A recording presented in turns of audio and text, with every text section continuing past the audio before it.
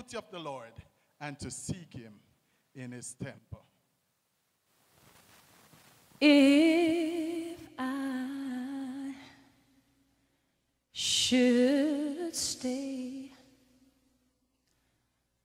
I would only be in your way.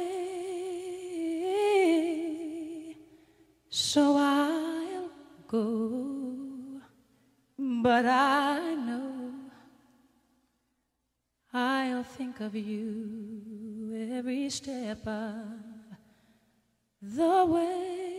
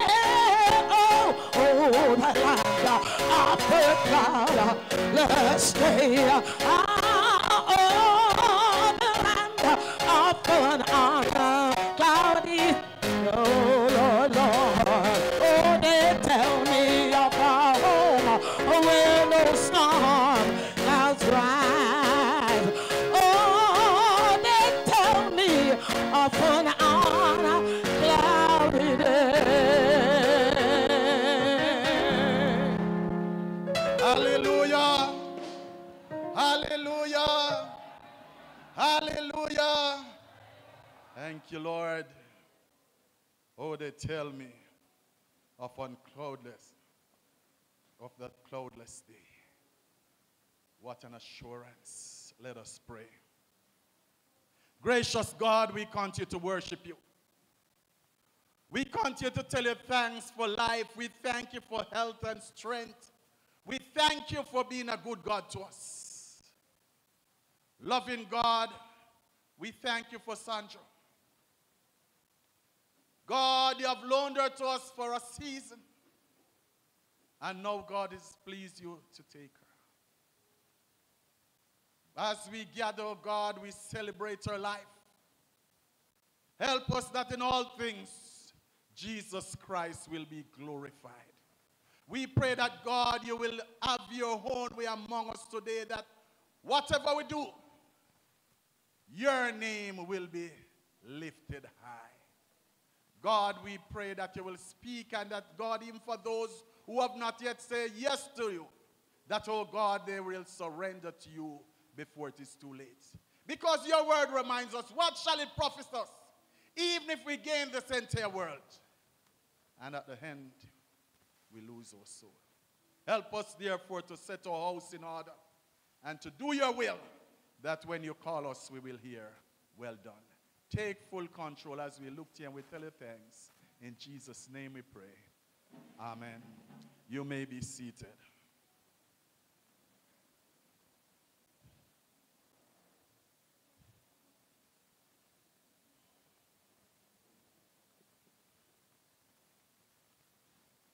We will now have the first lesson, Psalm 91 to 12. Alia Ferran and Naomi Campbell.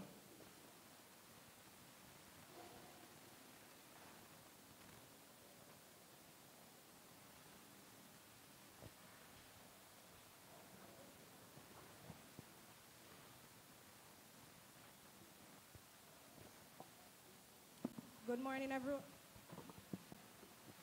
Good morning, everyone. Today I'll be reading the first lesson from Psalms 90, verse 1 to 12. Lord, thou hast been our dwelling place in all generations. Before the mountains were brought forth, or ever thou hadst formed the earth and the world, even from everlasting to everlasting, thou art God. Thou turnest man to destruction, and sayest, Return ye, children of men. For a thousand years in thy sight are but as yesterday, when it is past as a watch in the night. Thou carriest them away as with a flood. They are as asleep in the morning, they are like grass which groweth up. In the morning it flourisheth and groweth up, in the evening it is cut down and withereth.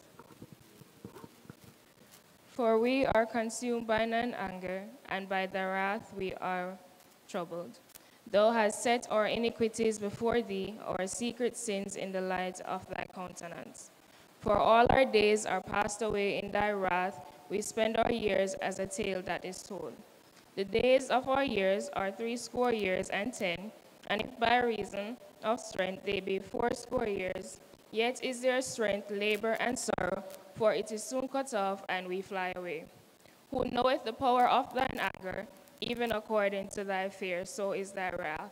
Twelve and last, so teach us to number our days, that we may apply our hearts unto wisdom. Here endeth the portion of God's holy word. I say, thanks be to God.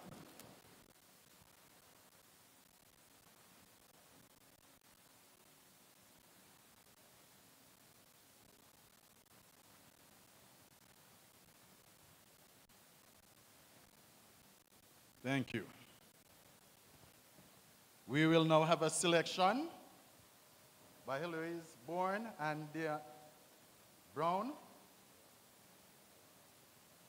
After which we'll have the second lesson. Janet Brown and Vanessa Raiston. In this order, please.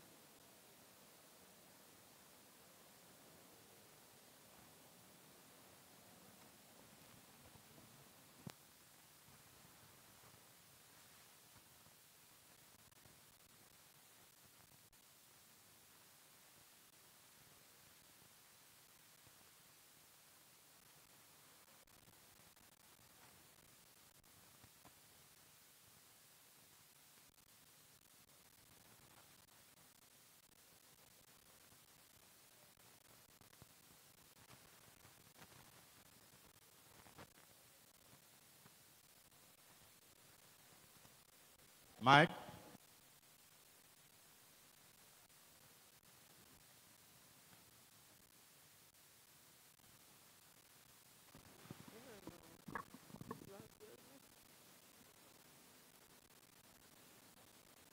Oh Lord, my God, when I in awesome wonder consider all the world thy hands made,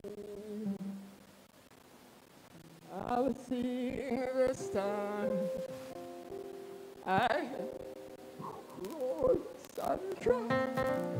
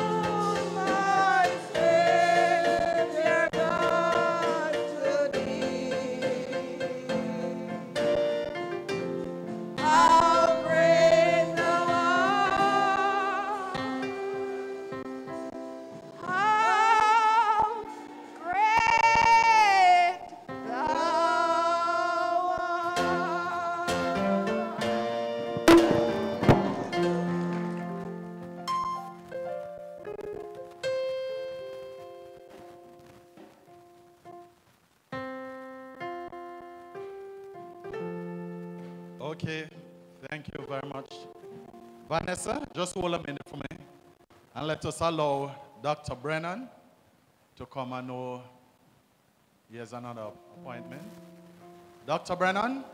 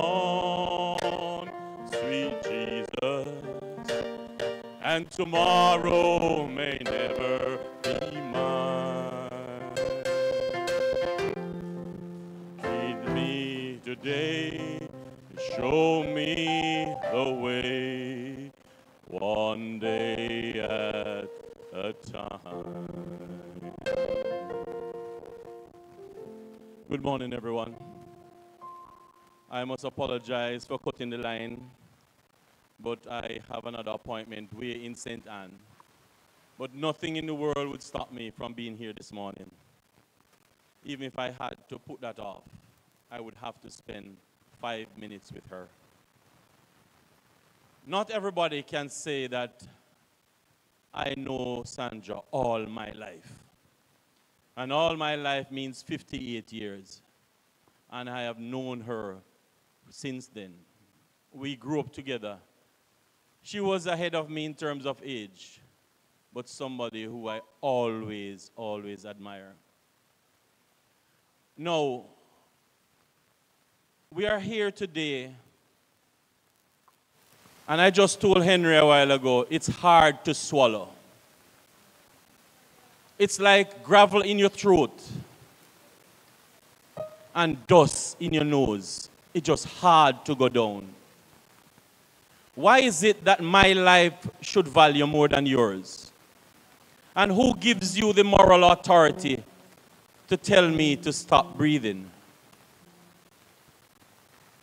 If yours value a million, mine value the same. What right do you have to take my life? And for what? I have lived close to death all my life. And all that we fight for while we are here on earth equals to zero. All that we have covetousness, bad mind, and hate for, it all adds up to zero. When you die, you go through a thing called rigor mortis, where you stiffen out and you open your hand and you grab onto dirt, the earth, the land that you fight for. And as soon as you go down, Mr. Witter, you wash it out of your hand. You can't carry it with you. Don't give me any land. Give me permission to work it. And I will farm and make a living. Because when I die, not even a handful I can take with me. Not even a handful. It hurts. It hurts. And you all know what I'm talking about. You're just not verbalizing it. But I have passed the place where I am afraid of anybody. And the most you can do is kill me. But Sandra didn't have to go this way.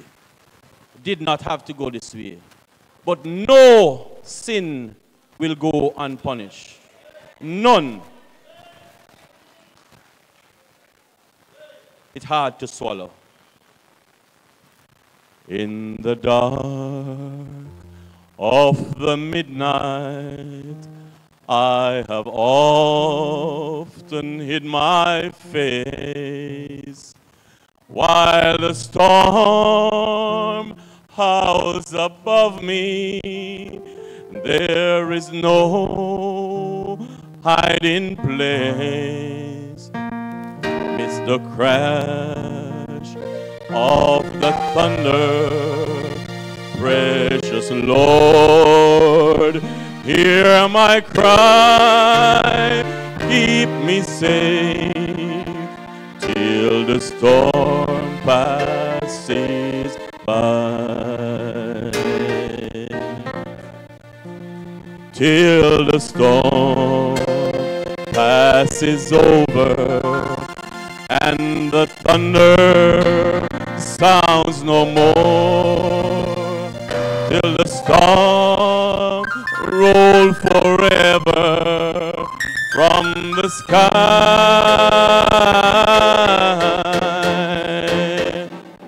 Hold me fast, let me stand in the hollow of thine hand. Keep me safe till the storm passes by. Many times Satan whispers, there is no need to try, for there is no end to your sorrows and no hope by and by. But I know that thou art with me, and tomorrow I will rise where the storm never darkens the sky. Oh, till the storm passes over and the thunder sounds no more till the clouds roll forever from the sky.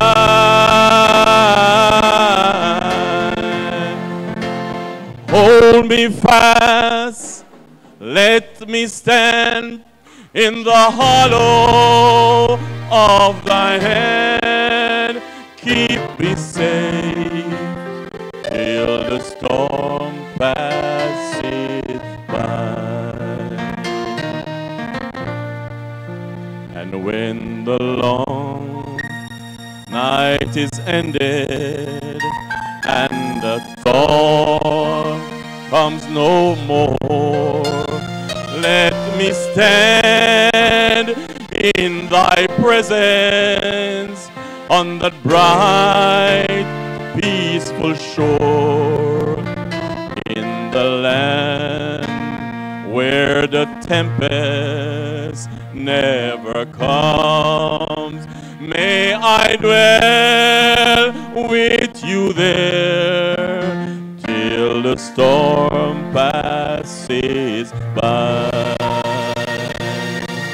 Oh, till the storm passes over. Oh, and the thunder sounds no more. Oh, till the clouds roll forever from the sky. Oh, let me pass, let me stand. Oh, in the hollow of thine hand.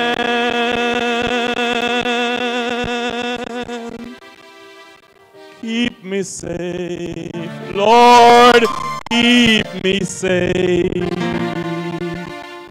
till the storm, this storm must stop, passes by. Hallelujah. Hallelujah. Hallelujah. Hmm.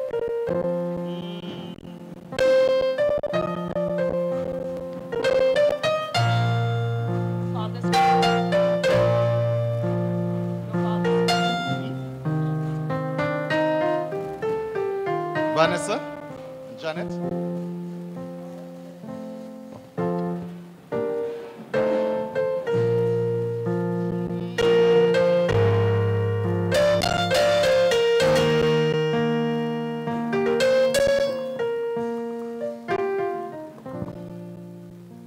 Good afternoon, everyone. The second lesson will be taken from 2 Corinthians 13, and I'll be reading from verse 1 to 13.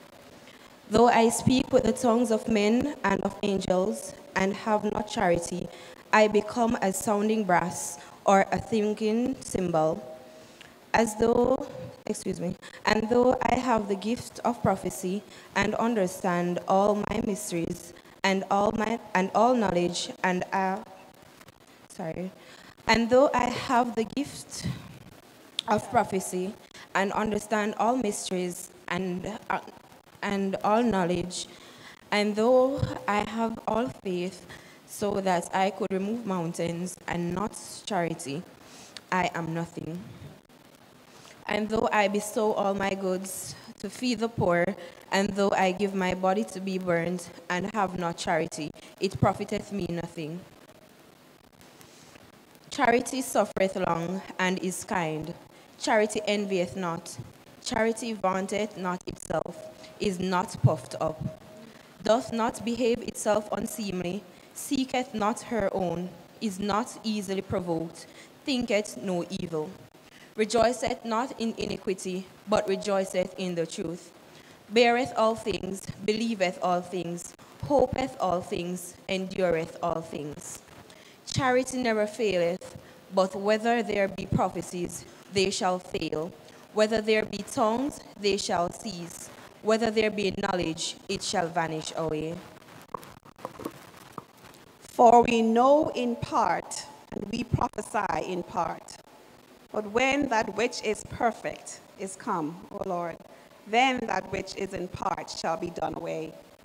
When I was a child, I spake as a child, I understood as a child, I thought as a child, but when I became a man, I put away childish things.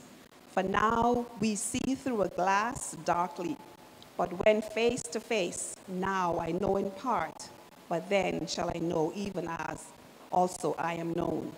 And now abideth faith, hope, and charity.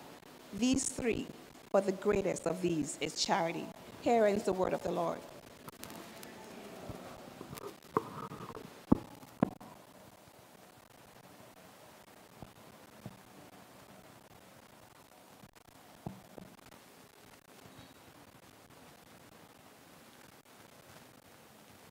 Thank you.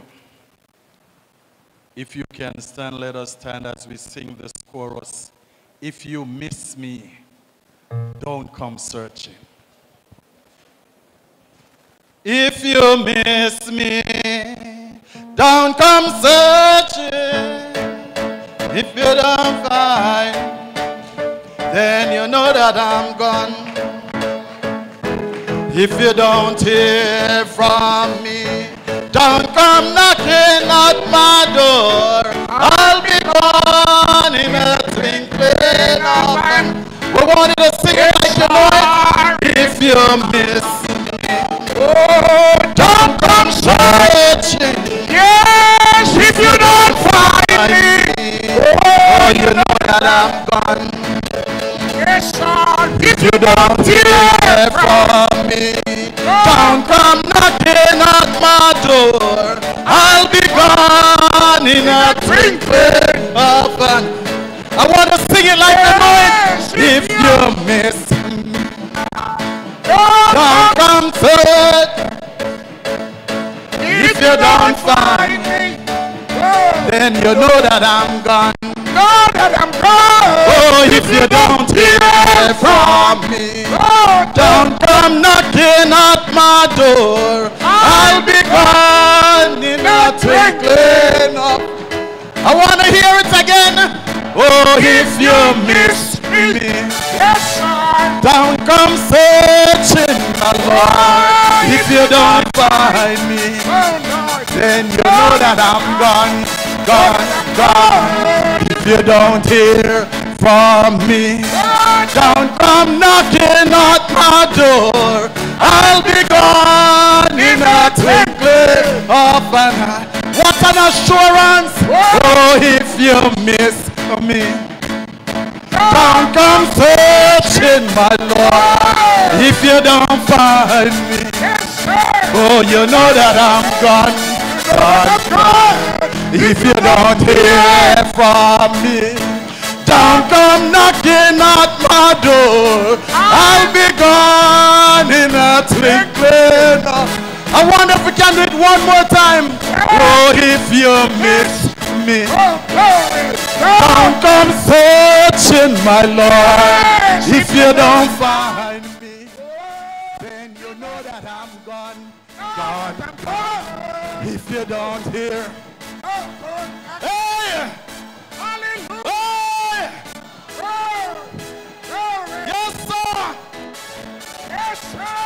Oh, if you miss, yes, sir. Hey, oh, if you,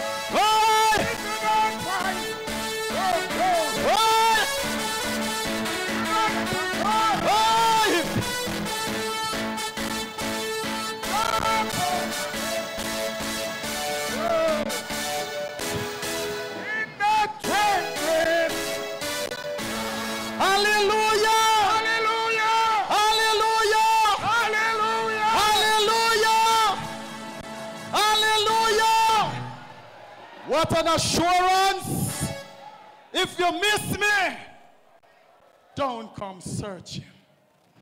Pastor Barnett, Pastor Barnett, you come. She'll come and take us. Not through, but through. Can we bless the name of the Lord? Can somebody give the Lord a shout of hallelujah in the house? Come on, we are in a Thanksgiving service. Somebody shout a hallelujah. Blessed be the name of the Lord. Let me take the time out this morning to greet the Holy Spirit of God, which is the head of my life. Bless the Lord. To our officiating minister, Reverend David Tucker, Reverend Anthony Chong, Pastor Vernon Walters, and if there's any other minister that I may fail to name, Pastor Bell, and I've seen some other pastors over there. Officers, members, bereaved family, loved ones, choir, I greet you in the name of Jesus. Greetings, everybody. What a mighty God we serve. Amen, somebody? So just bunch your neighbor and say, neighbor, what a mighty God. We're in a Thanksgiving service for the life of our sister Sandra Risden, one whom God have given to us. uh, but it seems that we have missed her um, at a time that we were not prepared. uh, but in uh, everything, uh, there's a time and a season. Somebody give the Lord a praise. Uh, Come on, somebody clap your hands and give the Lord a praise. Uh, Today is a day of celebration uh, for a good woman, uh, a virtuous woman uh, who had pa- departed this life. Somebody give the Lord a praise. And today we might not feeling happy to say goodbye, but it is so, and we're going to celebrate her because she had done well, and we need to give God praise for her life. Uh, somebody shout a hallelujah.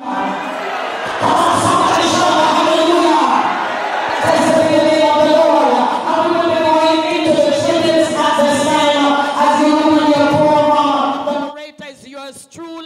I'm Pastor Vital Barnett, uh, and I'm giving God praise. I've known Sister Sandra for a period of time, and I tell you, she is somebody that I do admire. And I think uh, the writer Proverbs have talked about her, a virtuous woman. Amen. Amen, somebody. And so I'm going to ask for all of us in our tribute. uh, bless God. I want for you to do not more than two and a half minutes, uh, except the eulogy. And uh, if there's a remembrance, uh, and the message. Those are the only item that we will give uh, a little extra time for. Amen, somebody. Amen, somebody. What will it be when we get over yonder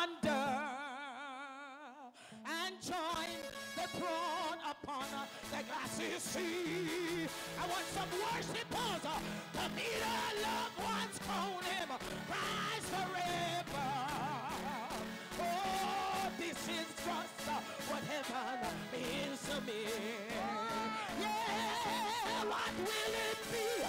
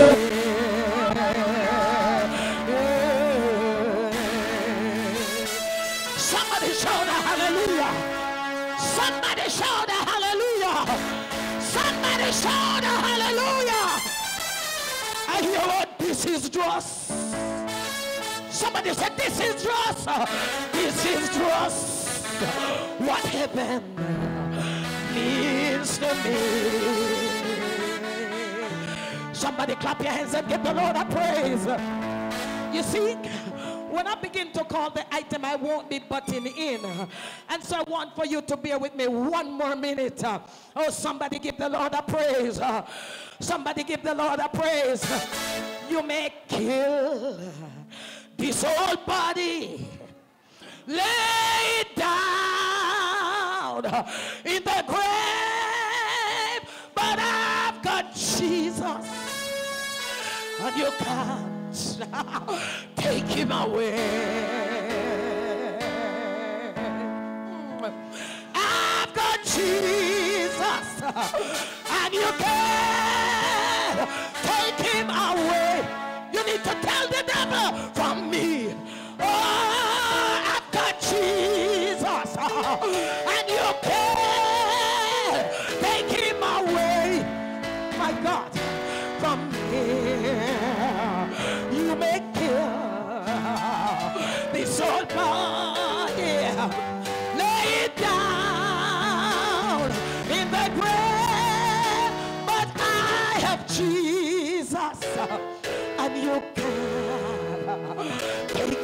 away. Can I get a witness one more time? Oh, I have Jesus, and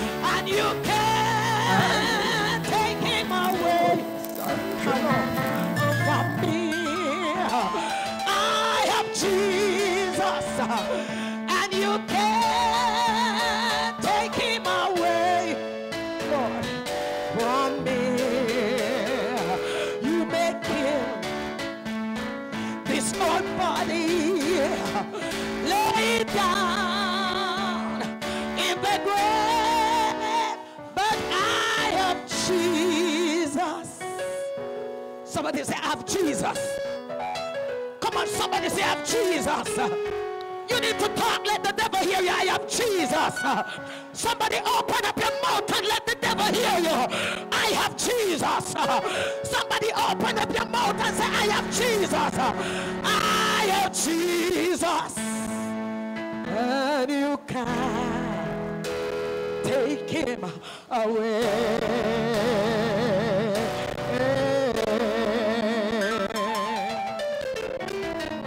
Blessed be the name of Jesus. Blessed be the name of Jesus. Somebody clap your hands and shout Jesus. Somebody clap your hands and shout Jesus. Somebody clap your hands another time and shout Jesus. Thank you, Lord. We're going into the tributes. Tributes number one, Darren Risden, nephew. Tribute number two, Dr. Desmond Brennan have already gone. Eric Taylor. Tribute number number four, Lowell G. Morgan, managing partner of Noon School, Dillon and Company. That's, is it Lowell? Morgan, yes, managing partner of Nunes. Amen. Amen. And you will come in this order. God bless you as you come. We will take it from there. So Darren Risden nephew, put your hands together for him.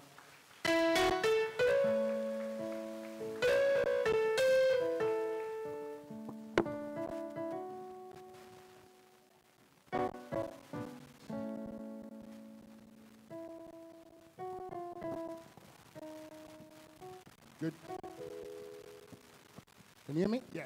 Good morning, ladies and gentlemen. Today we gather here to celebrate the life of a remarkable woman, a woman that I know as Auntie Sandra. As we reflect on her journey, we remember the many cherished memories and the impact she had on our lives. One thing that always stood out about Auntie Sandra was her warm and welcoming nature. Every time I arrived at the airport, I could always count on seeing her familiar face in the crowd. She had a make, way of making you feel at home, even in that bustling airport environment. I remember those moments when I would be stopped and questioned, which happened all the time, about who I was visiting. And without hesitation, I- I would be able to point into the crowd and say, Auntie Sandra, she's over there. Auntie Sandra was not only a loving aunt, but also an avid traveler. She took us on countless trips, exposing us to new experiences and creating lasting memories. Whether exploring the vibrant streets of Kingston or being up to trouble in the home parish in Clarendon over the weekends, She made sure we never missed out on the beauty of this island home. She defined Auntie Sandra. She was a pillar of strength and support for our family. When my parents were building their house, Auntie Sandra rolled up her sleeves alongside them and got involved. She worked tirelessly alongside them, ensuring that progress was being made. Her dedication and commitment to helping others extended beyond her immediate family, as she lent a helping hand to other members of the extended family as well. My auntie never missed a family celebration and made great efforts to be there for us at key moments of our lives, including mine and my sister's weddings. Her words of wisdom delivered in the readings are remembered to this day, and it is truly fitting that I'm here to do the same for her. Auntie Sandra's love for her family knows no bounds. She believed in the informant, in, sorry, she believed in the importance of family unity and made sure that everyone felt included and valued. Her presence at family gatherings brought joy and laughter to all. From the moment I first set foot in Jamaica, she embraced me, leaving an indelible mark on my heart. Today, as we bid farewell to Auntie Sandra, let us hold on to those happy memories we shared with her. She was a constant source of love, support, and strength for all. Her legacy will be forever etched in our hearts and minds. Thank you very much.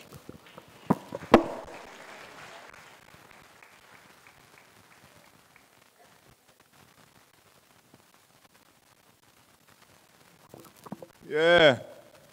To the member of the platform and um, family and friends, um, me can tell you guys, this is what Sandra really would love to see. Because Sandra, you know, we could dead, dead, nothing. Anyhow, ladies and gentlemen, before we go further, out here, I must say something to you.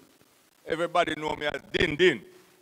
And me see a long space behind Eric Taylor and not Din Din. But anyway, sister, as Sister Barnett said, with time is limited, and it's two and a half minutes. So if I was to talk about Sandra's, ladies and gentlemen, it would have taken me from here, go on May Pen, and come back, and go on a Bryant's Hill, and we still talk. So all I can say, ladies and gentlemen, people, Dr. Brennan said, which I'm the elder one for Dr. Brennan, because me watch him come up. But wherever we go, he always talk about us in Bryant's Hill. All I can say, Sandra, I, I don't know if she knew she was going. Because um, as most people know, I have a business place. And um, Sandra came there the Saturday evening or the Saturday night. And um, I can call one name we came here with. I mean, in the some place in the crowd where, where is my brethren. And we came and we sat and we, we had a drink. And when she was going to work, going back home to Kingston the Sunday evening, she would always wave to me and say, oh, sir, cause me gone. And that's Sandra. And ladies and gentlemen, we missed her, and we missed her. You understand? Because, as I said, the, um, the, the night when he came there, we had a drink, and Sandra really, she drank one Malta. And by chatting and chatting, because we talk about so much things, she said, give me one more Malta. And um, time was running out, so I said, Sandra, we have to go home now. And, um, and she said, all right, cuz, that's it. We're going home. And, um, whoa, it's, it's, rough, it's rough, it's rough, it's rough, it's rough. And um, I, am going to ask one person in the crowd to stand up. I, I know him not a man who go jump too fast, but he'll jump. Bingo, you just raise your hand and stand up and make me look on you run at the back there. Watch him down there, sir. All right, all right, all right, sir. That's, that's you. You understand? So we were together the same night. We had the drink together and we chat and everything. So and then, ladies and gentlemen, go right to my business place again. I went shopping the Thursday at the wholesale. The man when me at the wholesale, my phone ring. When me look at my phone, as you know, you can't see how I call on the phone them. A bingo you a call me. Me say, where bingo call me for now? Because him no man normally call me. So I say, hello. And he asked me if I have a certain individual number. I said, no, I don't, but... And then before the man come and call my phone say, you know, you want to Sandra? I say, no. I say, no. And like when the man hang up before, the man say, Sandra get shot. And then I start to call. I call Paul in the sister. And she didn't answer the phone because, oh my God, oh my God, oh my God. Mm. It's rough. But anyhow, just after that, my phone started ring again. Everybody, but my firing, I call me. Ding, ding, ding, ding. you hear what happened? Then me stop answering the phone now. Oh my God, then me couldn't finish my business. Because, because cutie is my. Um, ladies and gentlemen, it's rough, it's rough, it's rough. Because right now, I still have a member of the family right now who just dead for me again. So it's rough. So ladies and gentlemen, let's continue to enjoy this Thanksgiving service for Sandra because she deserves it. She worked hard, she worked hard and she worked long hours and she always been on the road picking up feeding for Cutie. Cutie, where you there? Walk up here, Cutie. Walk up here, walk up here, Cutie. Walk up here. I love you, Cutie. Mm. And ladies and gentlemen, thanks for this opportunity. Blessings. Amen. Amen.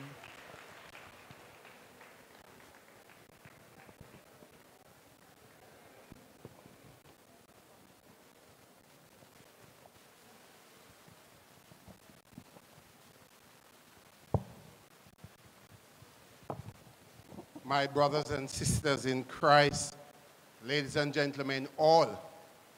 My name is indeed Lowell Morgan, and I'm from the law firm of Nunes Scholefield, DeLeon and Co. Sandra worked with us for close to 36 years. I asked the moderator to allow me a little more than two and a half minutes. I didn't ask for one minute for each year, but just a little more than two and a half minutes. I understand that it is understandable. Nunes Scholefield, DeLeon, and co-partners, attorneys at law. The first thing I want to do is to just ask the Nunes Scholefield family to stand.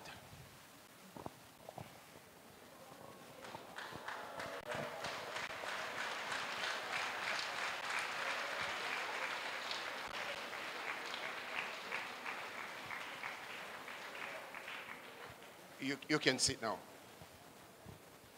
Sandra Annette Risden is affectionately known and called Sandra Rizzy Risden.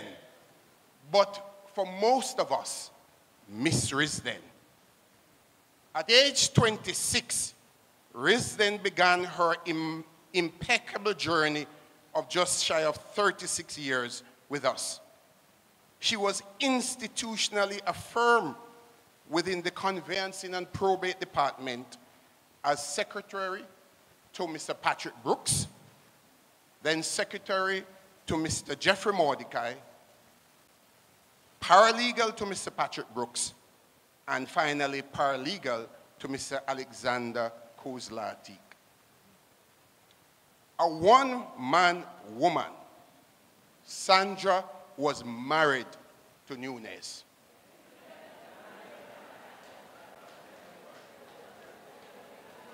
She played her role with full faithfulness as the professional midwife, mother, caregiver, and counselor throughout the firm's developmental and advancing stages from 4 Duke Street to 6A Holborn Road. The accolades of her unparalleled performance bestowed by her employers, colleagues, and clients brand her as a paralegal celebrity. I give you a few snippets acclaiming her career's authenticity. At her shock demise, the media had to ascertain her employment status via virtual interview with the head of Nunes. The community had perceived her as an attorney at law. Listen as a few eyewitnesses testify of the exalted humility and diligence, knowledge and affability blended in one woman. The Honorable Mr. Patrick Brooks, OJ, the president of our Court of Appeal, says Sandra was recruited to fill the vacancy of my secretary just as I was being oriented at Nunes. The synergy of our work, he says, rhythm, anesthetized numerous teething pains, such as the adaptation from typewriters to computers and printers, the sharing of one printer via manual networking, and even the choice of printing paper. But the maverick Rizzy was a principal overcomer, he says. Justice Brooks says, Sandra helped me manage my transition to the Department of Probate and Succession smoothly through her visible and non-threatening work ethic and peaceful cooperation with Mrs. Goscott, my other secretary. Justice Brooks conclude, it is hard when a person who is so approachable, hardworking, dedicated to her duties, and loyal to the firm is killed in the way Miss Risden was. As we try to make sense of what seems a senseless act, senseless act, we have many questions, but no answers, says Justice Brooks. However, we remember kindly her smile, her laugh, her courtesy, her drive, her work ethic, and her ambition, all the attributes that made her unique. I, along with three of my other colleagues, speak on behalf of the firm and the extended family. Sandra was a paralegal who had extraordinary knowledge of the areas in which she worked. Many clients interacted with her were not aware that she was not a lawyer. It is said by more than one of our clients that she was better than the lawyers. Since her transition, the firm has had to reorganize, reorganize the conveyance department to manage her at desk and assign two lawyers, two, to her almost faultless Our clients were vocally impressed with Ms. Risden's power excellence in the management of the business affairs. They appreciate her frequent follow-up calls and her pleasant and polite attitude. One, for example, said he would miss her immensely. He quipped that he would now have to go inside the building, as Risden always met him on the outside. He lamented that such an exceptional customer, service practitioner as Miss Risden, didn't deserve a horrific death. Sandra was the epitome of emulative loyalty, dedication and commitment beyond the call of remunerative duty, giving the best unstintingly every day. So for example, the Wednesday before her passing, she left the office at 9 p.m. And yet, the following morning, before 7 o'clock, she was on her way to work. A slave? No. A partner, a developer, a title holder of Nunes? Yes, she was. Sandra's peers and supervisors loved and respected her. Thursdays are sad days at Nunes. Last week, for an example, Nicole came to my office for a signature. She was looking quite down, almost in tears. When I asked what was wrong, she remarked, It is Thursday, sir, and Sandra. It has been like that for many of the staff members. Oh, Our senior partner, Mr. Patrick, it, it shall vanish away. Almost every officer work setting has a staff member whose personality traits of sincerity, innate kindness and warmth touch the feelings and hearts of others. Those persons make what would be tedious and mundane workday filled with warmth and cheerfulness despite the stresses of the job. Sandra Risden was such a person.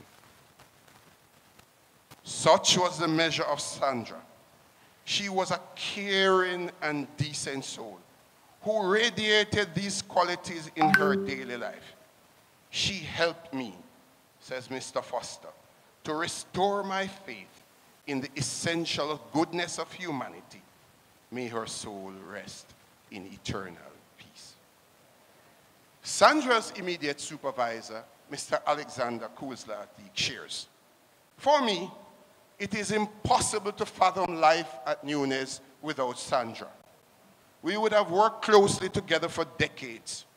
Throughout the phase of my car- career, where the glare was on me to perform, produce, and develop, it was my two paralegals, Rizzy and Marlene, who were the engine room that powered me forward. Many here may recollect that I playfully and jokingly dubbed Sandra as Corpy. As the years went by, she was promoted to Sarge, Inspector, and in recent times was recognized as Superintendent Risden. In truth and in fact, I did her no justice. Mr. Cool says, Sandra was a general in her own right, a Jenna of no mean order. Marlene Goscott, who was at Nunes when Risden joined, remarked that Sandra was not just a friend and co-worker. She was my lunch and road partner. We were each other's Uber driver when necessary. She had a passion for food and motor cars. Sandra was a generous giver, whether it was monetary or knowledge in the field. She was always willing to assist in any way she could, and many times I was the benefactor of her generosity. Today, says Marlene, is a stark reminder of the memories that are left in her absence. But no more. Sandra is gone. And we turn our teardrops into sparkling diamonds of her memory.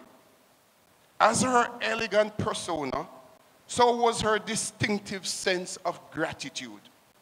She lived Jacques Maritain's proverb gratitude is the most exquisite form of courtesy.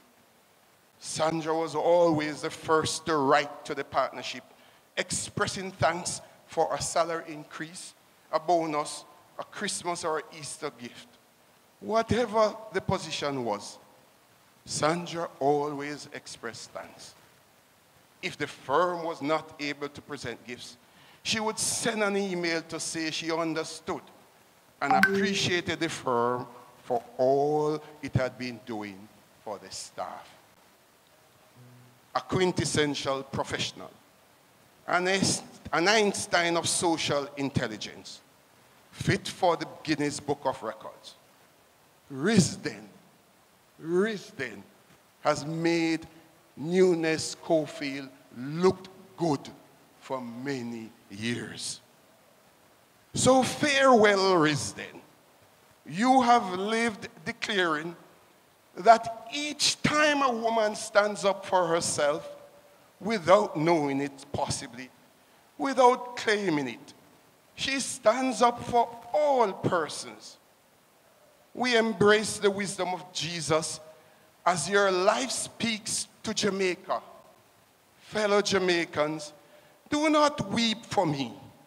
You should weep for yourselves and your children.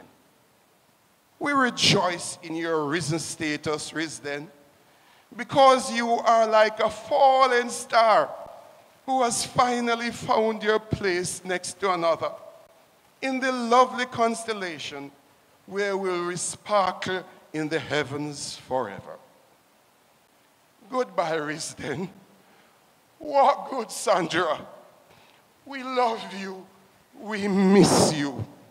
We see you on the great resurrection morning.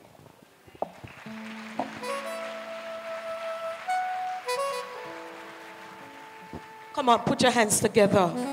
Come on.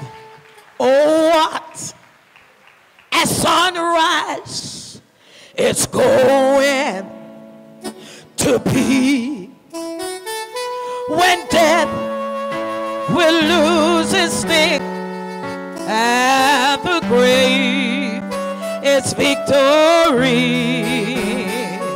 Oh, the silence will be broken and the storm clouds rolled away. I hear the saints of angels singing on that homecoming day. I want somebody to touch your neighbor and say, the silence. Somebody touch another neighbor and say, oh,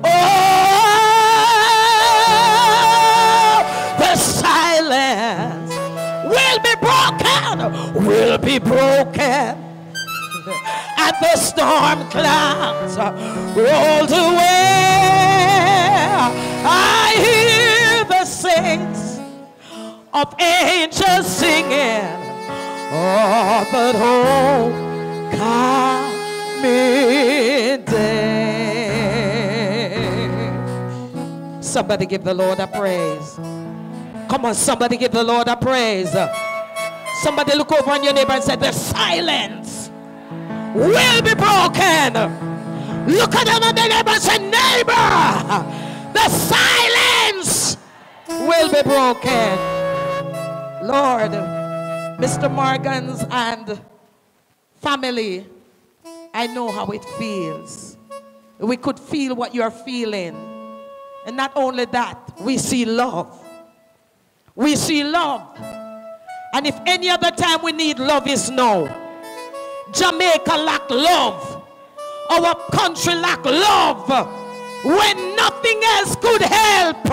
Only love was, oh, somebody give the Lord a praise. When we love each other, we protect them. Somebody shout hallelujah. I'm not the preacher. But the silence will be broken. Amen, somebody. Amen, somebody. We're moving on to number five. Kian Fair Freeman, goddaughter. Number six, Michael Kenny, family friend. Number, and then we will go to number eight, Joel Stewart, brother-in-law. And we will final this as there are so many others. Number nine, we get to learn and was said by the family member that um, the MP, Mr. Herschel Brown, so you will come in this order. Ken Freeman, Michael, name of the Lord. Right over here on my left, you will see the lectern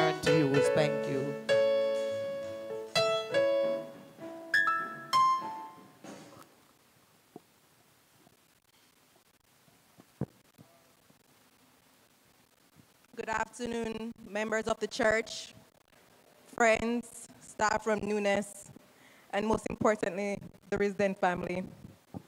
You may not all know me, but I had the absolute honor of being Auntie Sandra's goddaughter for the past 24 years of my life.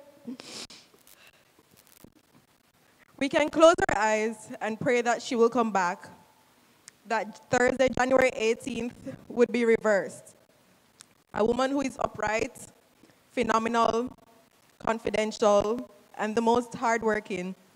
That is who Auntie Sandra was to almost everyone. We can cherish all the memories and let them live on. My godmother was a powerful cornerstone Reason in all her roles in her life. newness. Will lose its sting. Whether it was her family, day and night, or every single weekend in Clarendon, or simply spending the very, very, very few evenings that she took off early from work with my mother in Kingston. She was my mom's best friend and eventually became a fixed member of our family, the Davis family, just like we did with hers. All throughout my years, she helped my mother and my father make certain decisions surrounding my life, always being an open ear to better my foundation and success. At 16, I had big dreams. After completing CXC, I dreamed of becoming a petroleum engineer and was desperately reaching out to several companies locally. to gain some insight through summer employment. Auntie Sanjo interviewing at the very last minute with one phone call after they were about to tell me that I actually didn't get the job to land me a job at Jamaica Energy Partners. Although I enjoyed my time there, the career choice didn't last long, fortunately. But it did give me the opportunity to apply to many universities abroad, leading me to where I am now. Auntie Sandra was always one to encourage, motivate, and stand by my side. She always dreamed of coming to my graduate school graduation in Michigan one day. She never missed a graduation, whether it was at St. Andrew Prep, Immaculate, or even University of South Florida in Tampa. She communicated with my mom every single step of the way. Auntie Sandra was one of the kindest people I have ever met. Every birthday, I can expect a monetary envelope.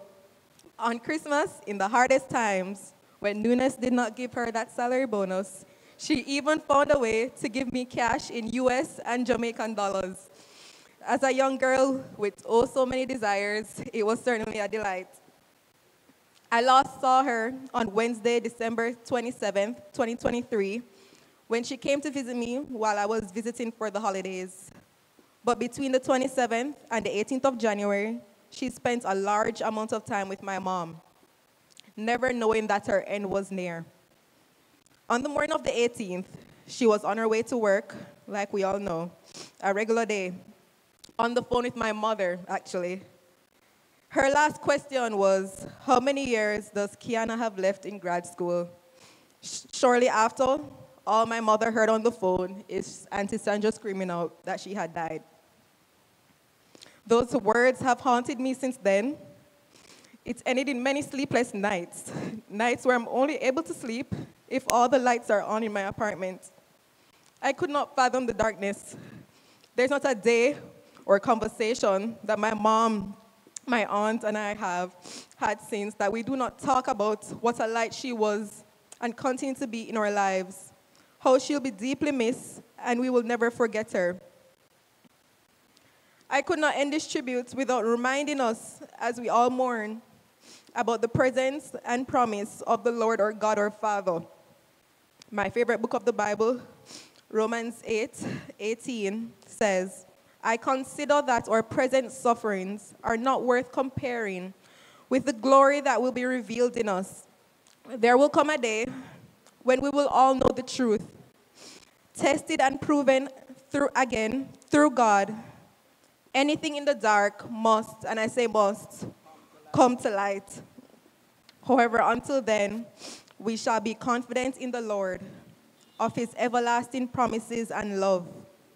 I pray that God comforts us in the nights that we cannot sleep and in the mornings when you cannot process our new and true reality. Goodbye for now, Auntie Sandra, the best godmother. No one can compete, not even a question. I look forward to the day we meet again. My family, my mother, and I will remember you all the days that we're on the earth. Church, may God continue to bless our hearts, our minds, or souls, or families, or friends, and or enemies. Thank you. Amen.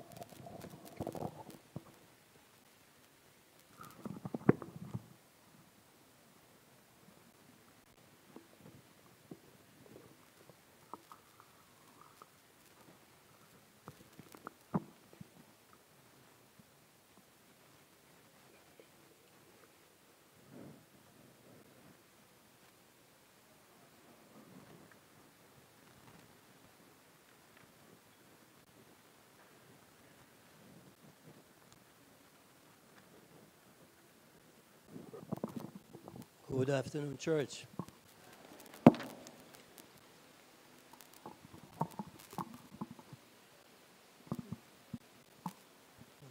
Not mine.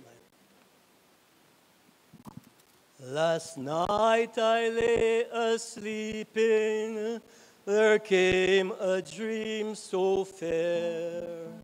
I stood in old Jerusalem beside the temple there. I heard the children singing, and ever as they sang, methought the voice of angels from heaven in answer. Methought the voice of angels from heaven in answer rang. Jerusalem, Jerusalem, lift up your gates and sing. Hosanna in the highest. Hosanna to your King. And then methought my dream was changed, the streets no longer rang. Hush, were the glad hosannas, the little children sang.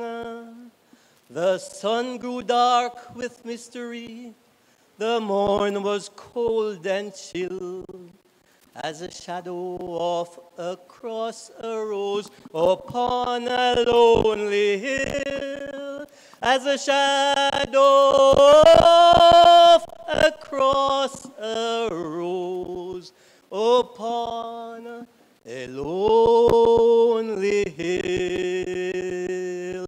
Jerusalem, Jerusalem,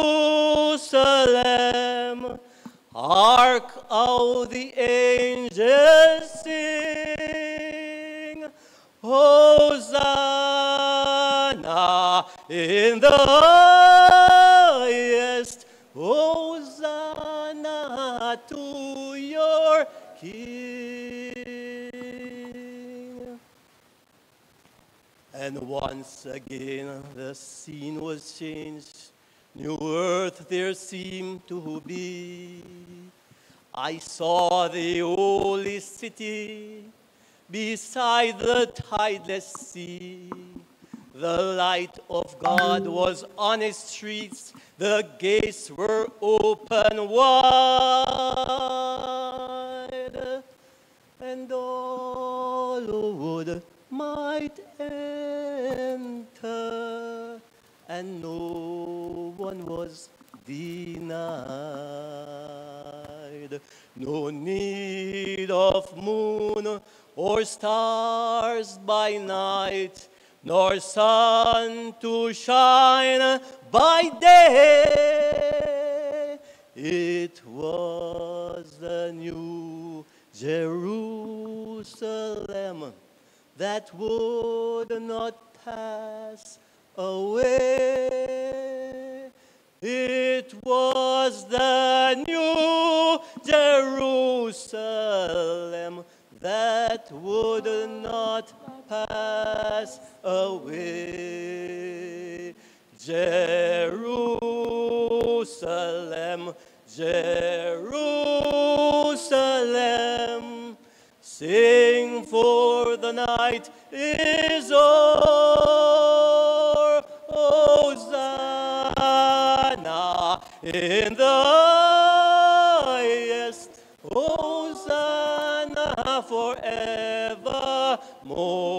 forevermore. Hosanna in the highest.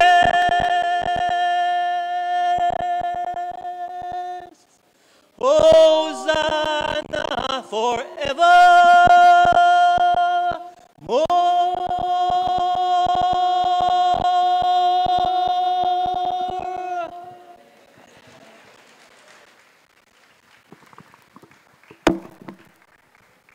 Hallelujah.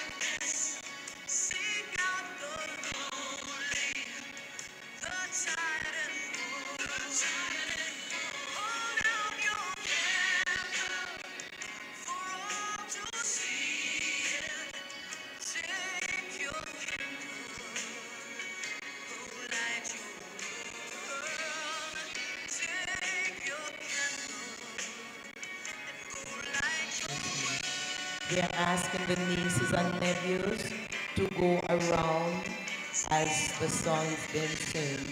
Nieces and nephews.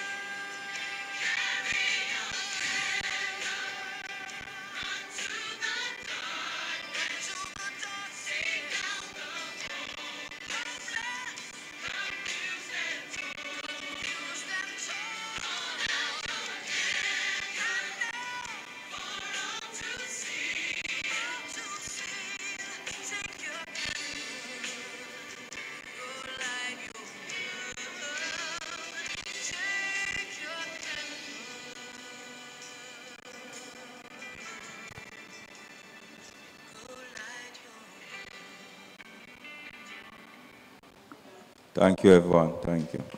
Come on, put your hands together. Beautiful rendition. Joy Stewart, brother-in-law, Joe Stewart.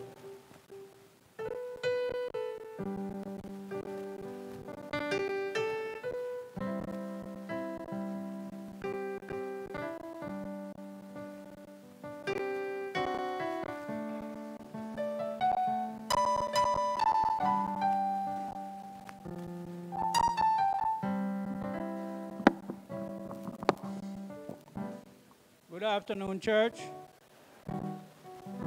Um, January 18, uh, 1924, uh, 2024 was a sad day for the family. You know, it's, it's a shock that shocked us all, you know, and um, uh, Dr. Brennan covered what I was going to say, but, you know, um, you know, all I could say is that, Sandra, we love you. That's the best sister-in-law there is. And um, she, she was one of the kindest, kindest, gracious person that you could ever um, come across. You know, and we, we are so we are so sorry that you know whatever happened to her, you know. Um, and all I can say is that family, love each other. Always tell each other that you love them, and whenever you know, don't make things get you know out of hand that you know you're gonna hate each other. Okay, so you know, just tell each other that you love them and show it. Not just saying it, but show it that you love each other. Okay, and, um, you know, Sandra, rest in peace, my dear. We love you. We always will. Thank you. Amen. Amen. Is Mr. Brown, Herschel Brown here?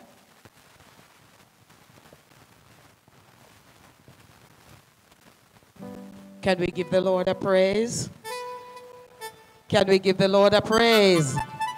If Mr. Brown is not here, then at this time, bless God, hallelujah, we shall have a grand time up in heaven. We shall have a grand time up in heaven, have a grand time. Walking with the angels, sing glory, hallelujah. Shall have a grand time up in heaven, have a grand time. Oh, we shall have a grand time, Lord, up in heaven. We shall have a grand time up in heaven, have a grand time, walking with the angels. Glory, hallelujah. We shall have a grand time up in heaven, have a grand time. Oh, eh, have a grand time, oh Lord, uh, uh, up in heaven. My God, we shall have a grand time up in heaven, have a grand time. Walking with the angels, sing glory, hallelujah. We shall have a grand time up in have Oh, when I get there, Lord, when I get there, I will sing. When I get there, hallelujah, praise the Lord. When I get there, and I have some worshipers Lord, when I get there, oh, I will sing and shout. When I get there, hallelujah, praise the Lord. When I get there, oh, the best is yet to come. When I walk through heaven's gate, first time I see Jesus, I will surely wait. Ah, he take me to that man. John, said, this is your home. Ah, I have a feeling in my heart. The best is yet to come. Lord, the best is yet to come when I walk through heaven's gate. First time I Jesus, Lord God, I can't turn away. Oh, he told me to that man, John, he said, this is your home. Lord, I have a feeling in my heart. The best is yet to come. Oh, the best is yet to come when I walk through heaven's gate. First time I see Jesus, I can't hardly wait. Is your home. God, I have a feeling in my heart. The best is yet to come. The best is yet. Oh Lord, when I walk through heaven's gate, Lord, the first time I see Jesus,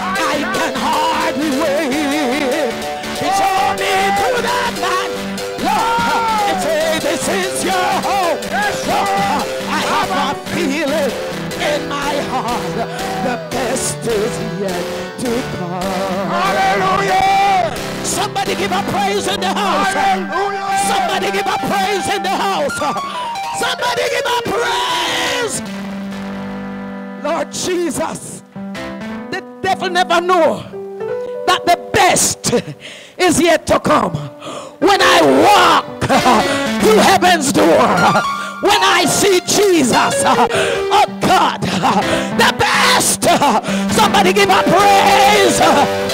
Lord Jesus, sometimes down here, we go through so many things. We go through so many situations. But when we get there, stop your neighbor and say, neighbor, when we get there, no grave, no grave cannot hold our body down. Hallelujah. Nothing, nothing, absolutely nothing. Sometimes some people think that them stop you, but you just begin. Amen, somebody. But up there in glory, when I sit down beside my Jesus, when I shake my hands with the elders, I'm going to see Peter, I'm going to see John, I'm going to see Naomi, I'm going to see Ruth, I'm going to say, it is well, with my soul. Hallelujah. Hallelujah. We're moving on. Oh, glory. Oh, praise God. Somebody give the Lord a praise. Somebody give the Lord a praise. When we lo- our loved one is gone to glory, oh God, I know it's hurt, but we need to just rejoice. Uh, For angels in heaven uh, is rejoicing. Uh, Amen, somebody. Mama Sandra is right there in glory right now, saying to all of us here, It is well with my soul, with my soul. It is well. We need to tell some people, get it right uh, so that it will be well. The Lord bless you. I think my mic is a little bit hoarse. I wonder if the technician can do something. But it's going to be well. Bounce your neighbor and say, neighbor, go through it. It's going to be well. Tell your neighbor, push through. One more push. Touch another neighbor and say, neighbor, don't give up now. I come too far from where I started from. Nobody told me the road gonna be easy, but I don't believe he brought me this far. I just can't give up now. But I know the Lord is gonna fix it for all of us. Somebody clap your hands and give the Lord a praise. Selection at this time will be coming from Tanisha Shaw, family friend. Let's put our hands together as we make her welcome. Miss Tanisha Shaw is coming to minister to us. God bless you in Jesus' name.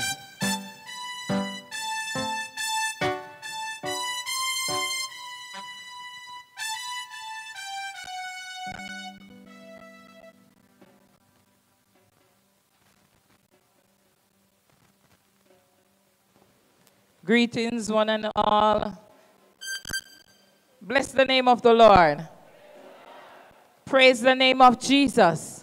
Bless the name Yes, we are in the atmosphere of worship. Praise the name of the Lord. Worship the name of the Lord. Exalt the name of Jesus. Worship the name of Jesus. Praise the name of the Lord. Praise the name of the Lord. Many times in my childhood, when we travel so far, by night falls are weary, I'll grow. Father's arms will slip around me, and gentle he say, My child, you are going we know one more time. Many times in my childhood, as we travel so far, by night falls are weary. I'm gone. Father's arms will slip around me and gentle, oh Lord, He say, my child, I am going know.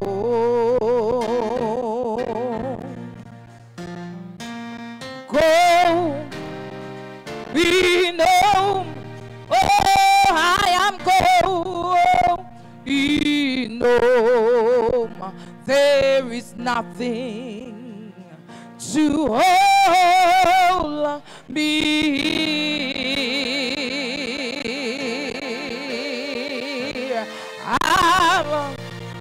I'm gonna glimpse of that heavenly light. Oh, praise God. I am going, we.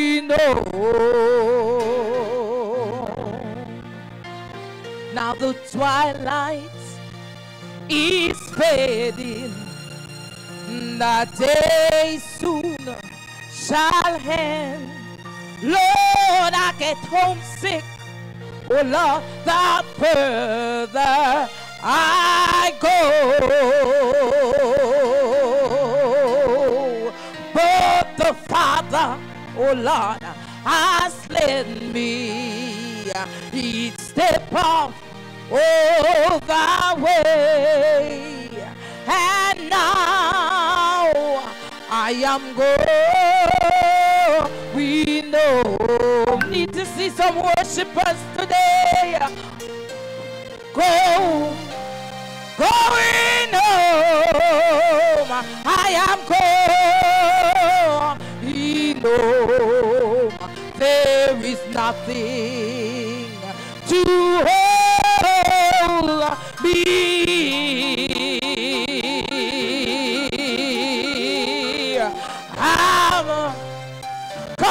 Glimpse oh, heavenly light. Oh, praise God. I am going, know. Now the twilight, it is fading. The day soon shall end. Lord, I get homesick. The further I roam. But the Father, yes, Lord, He has led me. Each step of the way. And now I am going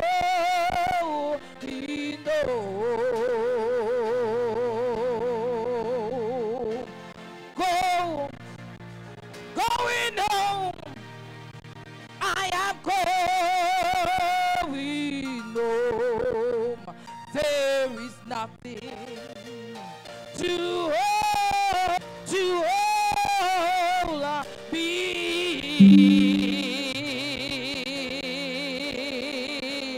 Have got a glimpse of that heavenly land. I said, praise God, I am going home. Sing with me, church. Go, we know I am going home. There is nothing to hold me.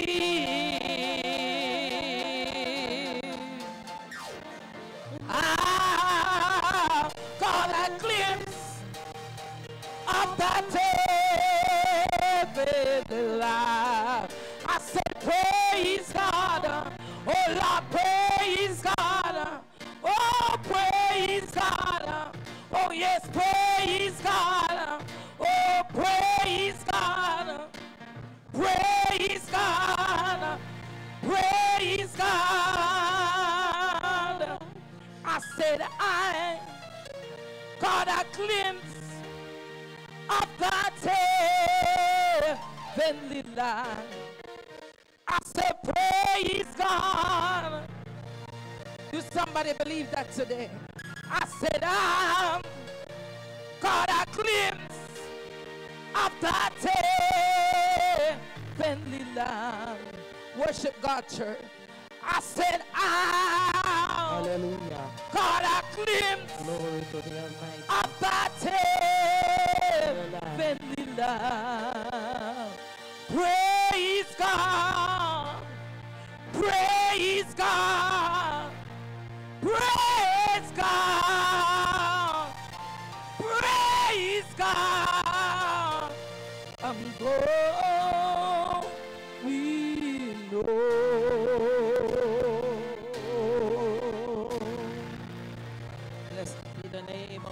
Jesus. Can somebody praise the Lord in the house? Come on, lift your hands and praise the Lord in the house. I know Sister Sandra is rejoicing in the house today. Somebody praise the Lord in the house. Somebody praise the Lord in the house. Oh, glory, hallelujah. Blessed be the name of Jesus. Thank you very much, Sister Shaw. Glory to God. Ah, Sister Sandra, I've got a glimpse of the heavenly land and she's praising God.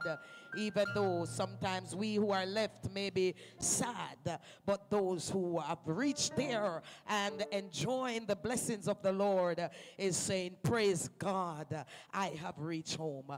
At this time, we'll be going to the offeratory hymn. And so we ask you to give as best as you can. Bless the name of the Lord. If you look on the building and there are others, uh, other things that need to be done over over here, the offering today will be a special offering. Hallelujah, that will not just be for this building, but will be for um, the, uh, uh, uh, her home church. Bless the name of the Lord. And so we ask you to give to the best of your ability. And so we ask you to join with us. The ushers uh, will be all over the place. As you can see, they are coming, uh, yes, with their buckets. uh, and we ask you to give as we do the hymn. You will remain seated as we do the song and your program. uh, praise God, what joy it will be. So you will be seated as the usher, they comes to you, inside out, they come to you. A country where no twilight shadows deepen. An ending day where night shall never be. A city where no storm clouds ever gather. Oh, this is just what heaven means to me.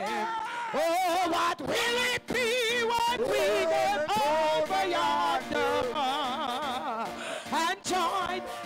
throne upon the glassy sea? and meet our loved ones and come. Oh, this is just what heaven means to me. A place where there is no misunderstanding. and from all enmity and strife we're free.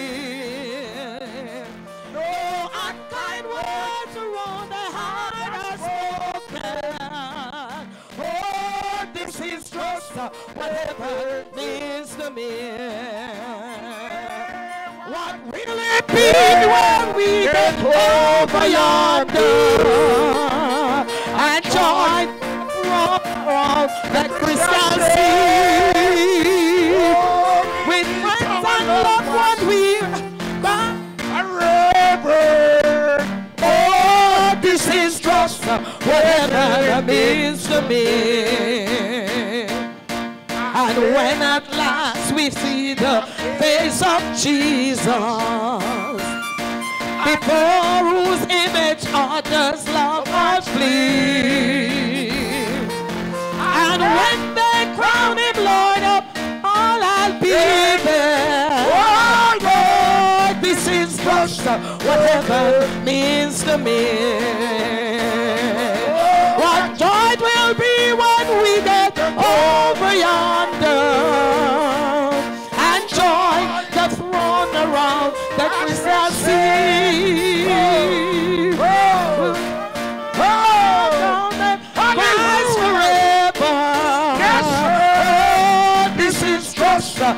whatever it means to me. What joy it will be when we get over yonder. Go, and join the throne around the glassy sea. With friends and loved ones we crown in Christ. Sir. Oh, this is just whatever it means to me. Oh. And when at last we see the face of Jesus, before whose image others are for free. And when they crown Lord of all, I'll be there. This is just whatever means to me.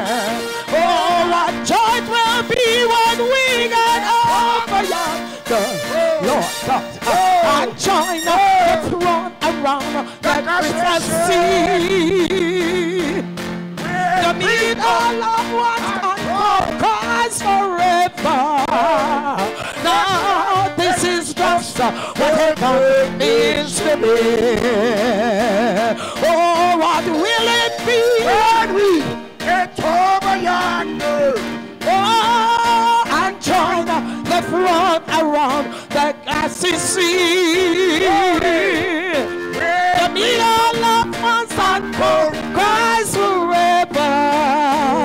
Oh, this is just what heaven means to me. Lord, this is just what heaven means to me. Oh, this is just uh, what heaven means to me. Lord, this is just uh, what heaven means to me. Lord, this is just uh, what heaven means to me. No, this is just what heaven means to me. Now, this is just what heaven means to me. Somebody give the Lord a praise. Come on, somebody give the Lord a praise. Come on, praise Him with your offering. Although you're giving your offering, but still praise the Lord. Somebody praise the name of the Lord. Blessed be the name of Jesus. Glory to the Almighty God. Hallelujah. For those who have not yet give your offering, just do like this, that the usher see you. Yes, few persons over there. Bless the name of the Lord. At the meantime, we'll be moving on as the ushers will still do their collecting of the offering. Amen. Somebody say amen. Somebody say amen. We will be having the reading of obituary, and this will be done by Vanette May Ricketts' cousin. Put your hands together as Mrs. Ricketts come to do the obituary. Come on, clap her, man. Yeah, cheer her. Come, Sister Vanette. Cheer her. Bless the name of Jesus. Glory to the Lord.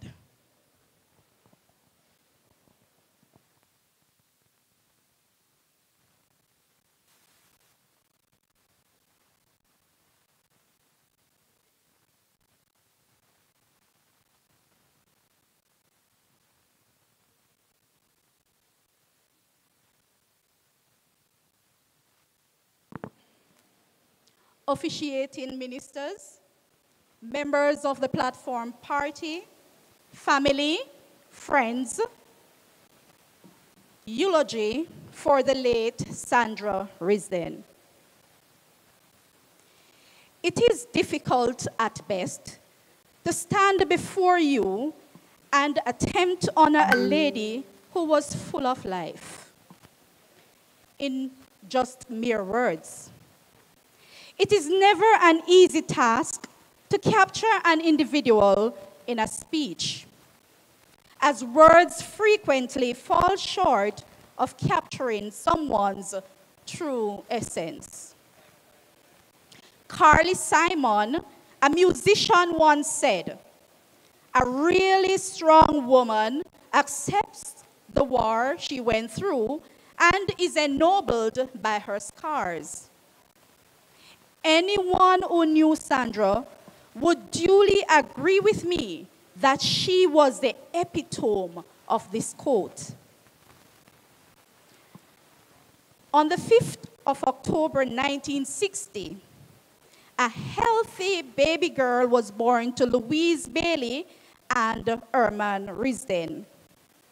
She was named Sandra Annette Risden, affectionately called Rizzy. Sandra grew up in the quiet community of Bryant's Hill, Clarendon.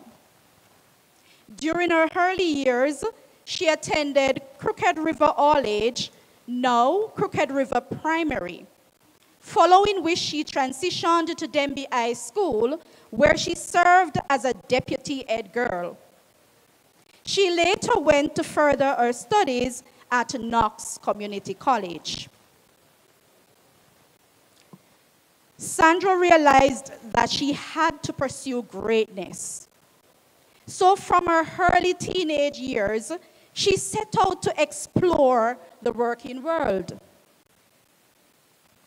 Leaving her home in Bryant's she journeyed to Kingston, where she was employed at Nunes, Scholefield, De Leon, and Company on April 5, 1988. Sandra was an independent and ambitious woman who embraced mob- upward mobility.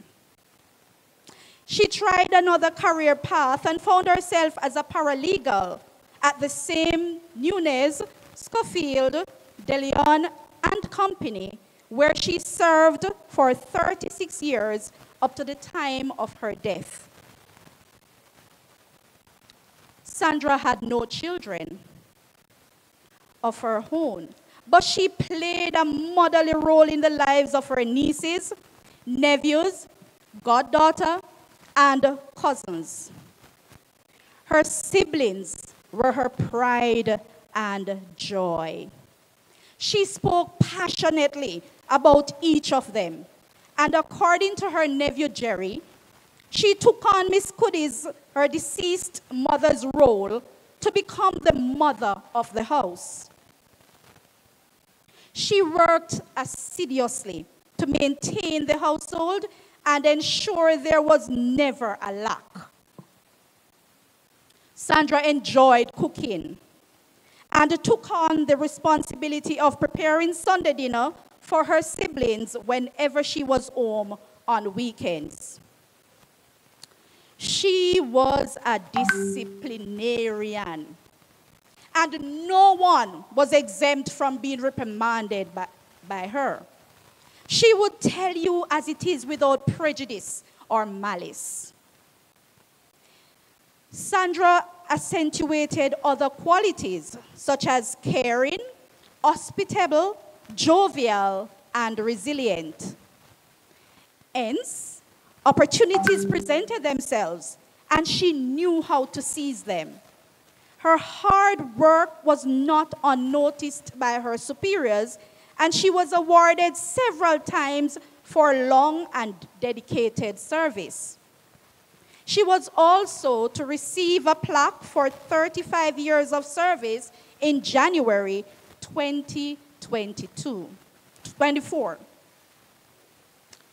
If you knew Sandra well, you can attest to the fact that she worked hard and played harder. She was outgoing, spontaneous, and enjoyed a good party despite the fact that she could not dance to save her life. Not to mention, too, that no funeral service would miss her. Pauline, Cutie, and her niece, Althea. She would often have a stock of buttons from funerals she attended. She loved attending church and would do so every, every given opportunity. Sandra's life took many extraordinary twists and turns, but that did not deter her from accomplishing her dreams while impacting her community and everyone who came in contact with her. On Thursday, January 18, 2024, while on her work, way to work, her life was gruesomely taken. She is predeceased by two brothers and leaves to mourn five brothers, four sisters, nieces, nephews, aunts and uncles, other relatives, and friends. Fly high, Sandra. Thank you. Come on, put your hands together for Sister Vanette. The life of our sister spent on earth for a time as this. Somebody give the Lord a praise. Come on, somebody give the Lord a praise. Somebody clap your hands and give the Lord a praise. And you know, I'm going to ask somebody to touch your neighbor and say, Treat me good. Look at another neighbor say, Neighbor, treat me good. The Lord Jesus. Somebody shout a hallelujah. Somebody shout a hallelujah. Blessed be the name of the Lord. We'll continue the remembrance by Dr. Jody and Risden Nelson and Chevanese Risden Green niece. And immediately following, we'll be having the floral tribute, uh, the family hymn by Tanisha Shaw. And you will come in this order. Thank you.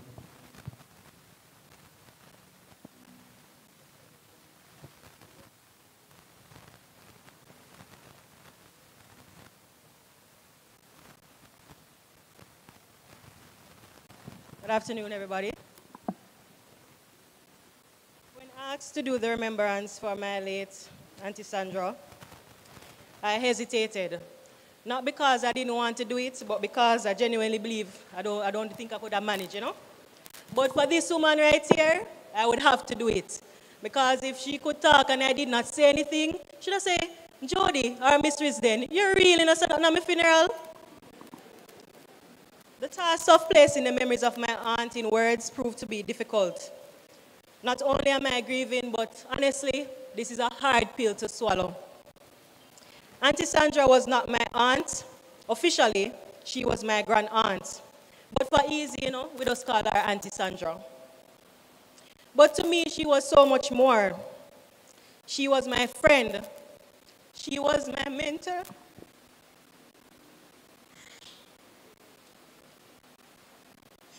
And she was one of my biggest cheerleaders.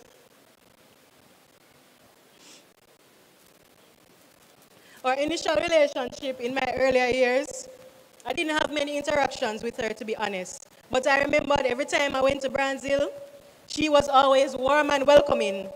And no matter how busy she was, and you know that she's a busy bee, she would stop. She would ask how I was doing. She would ask how school was. It was during my university years that Auntie Sandra and I developed a deeper relationship. I cannot really recall how the arrangement came about, but I became her companion on her journey back to Kingston every Sunday, or the Sundays when I was home. If you know my aunt, you know that she worked in Kingston, but Clarendon was home. And every weekend, if she had a chance, she was coming home. So on these Sunday evenings, when I call her, I say, Auntie, what time are you leaving? Nothing earlier than 5 o'clock. We would set out. It was during those rides, we would listen to all his music. We would talk. The conversation was always easy. We would have the bag of cane in between us because she swore that would keep her awake on the road. And I got to know my Auntie Sandra. This woman, she was easygoing but fiery. She was level-headed. She held good conversations. She could listen. She was extremely down to earth.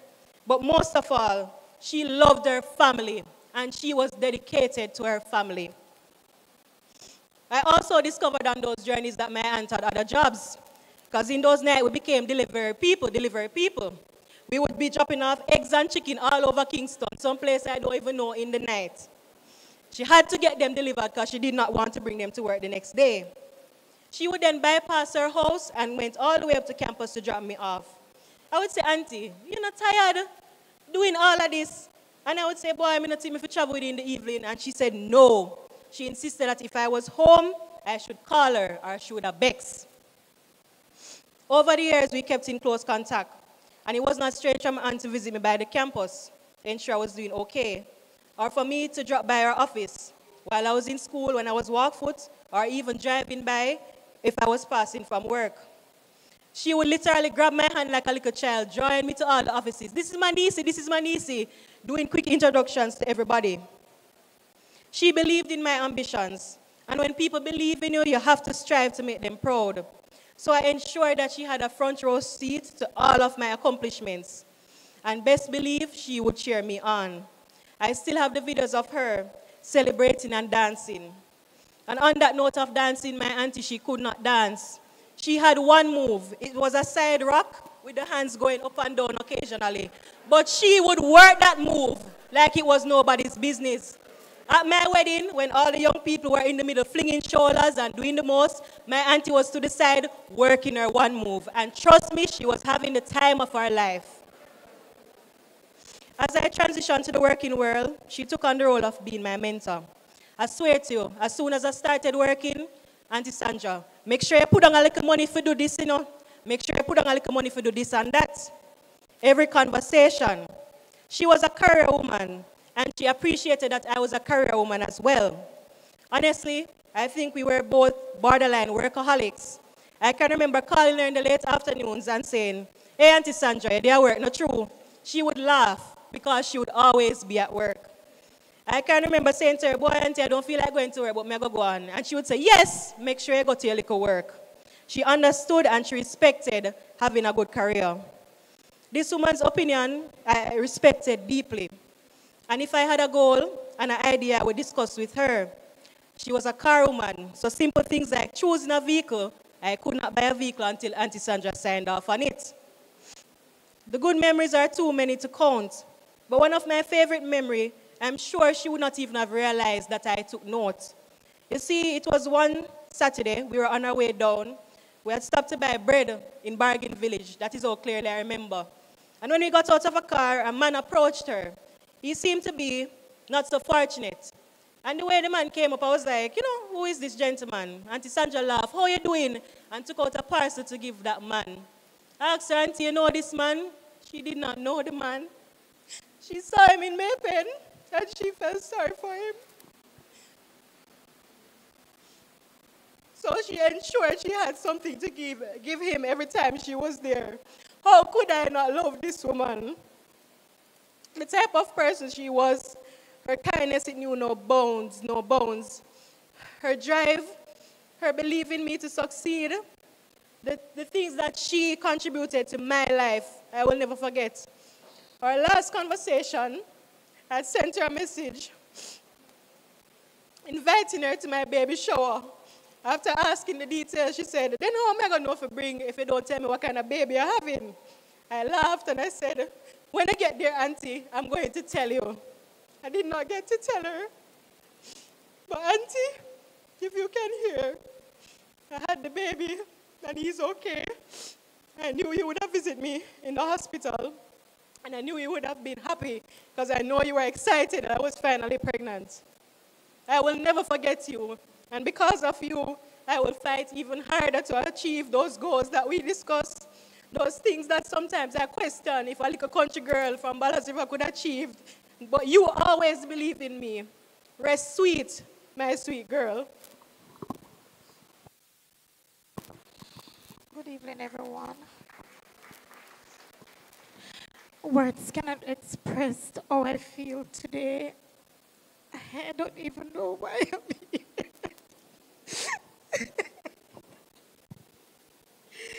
Should not have been.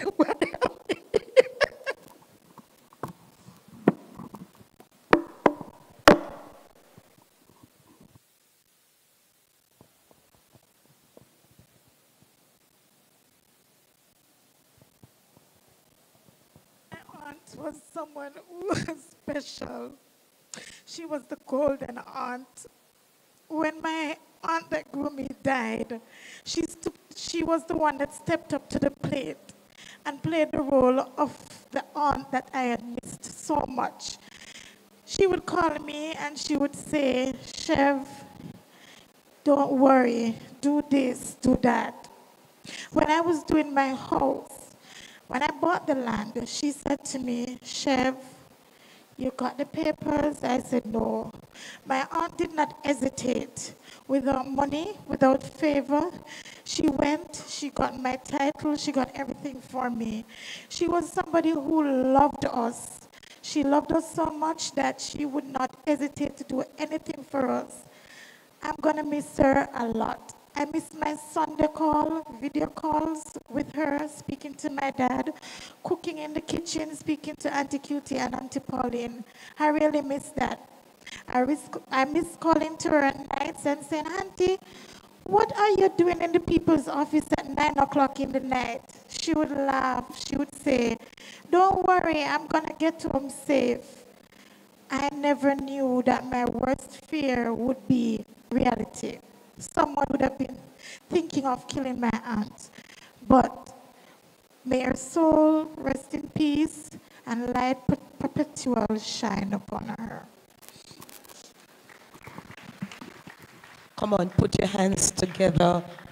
May the life I live speak for me. Where is Miss Shaw? May the life I live speak for me. When I'm resting in my grave, there is nothing that I can say. May the life I live speak for me. May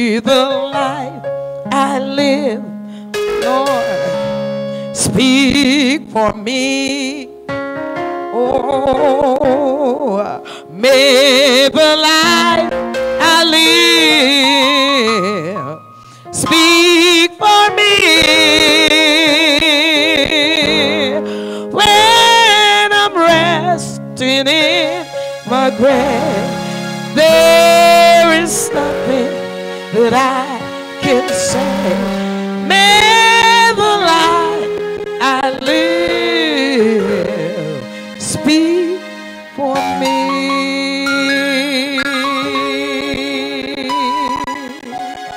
Hallelujah. Hallelujah. So we'll have at this time, bless God, the floral tribute, family hymn by Tanisha Shaw.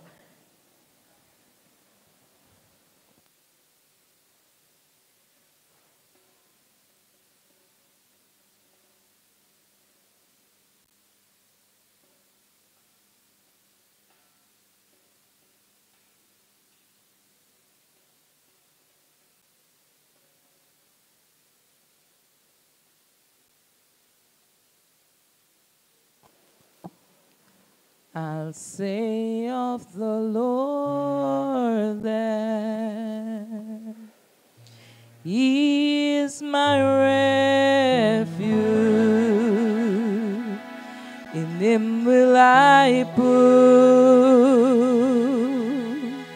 all of my trust. He's taking me daily from glory to glory. In him will I trust. In will I trust. Some trust in chariot, some trust in horses, but I will remember the name of my God. He is a warrior. Yes, he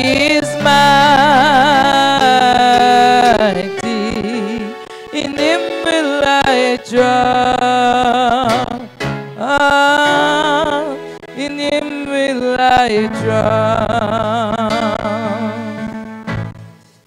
He's my defender, my shield and butler. My hope is built firmly on Him, on mountains in valley. My God is before me. In Him will I trust. In Him will I trust. Some trust in some trust in but I will remember the name of my God. He is a warrior. Yes, he is mighty.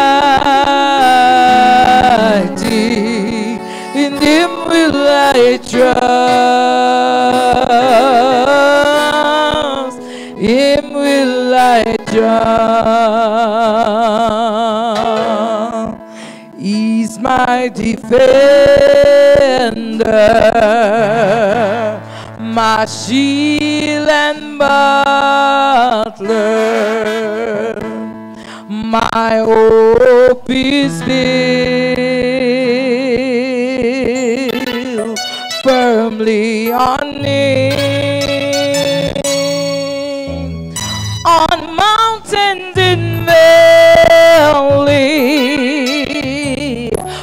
My God is before me. In Him will I trust. Him will I trust. Some trust in chariots. Some just in horses, but I will remember the name of my God. He's a warrior. Mm, yes, he is see. In Him will I trust. Him will I trust. In Him will I trust. Him will I trust.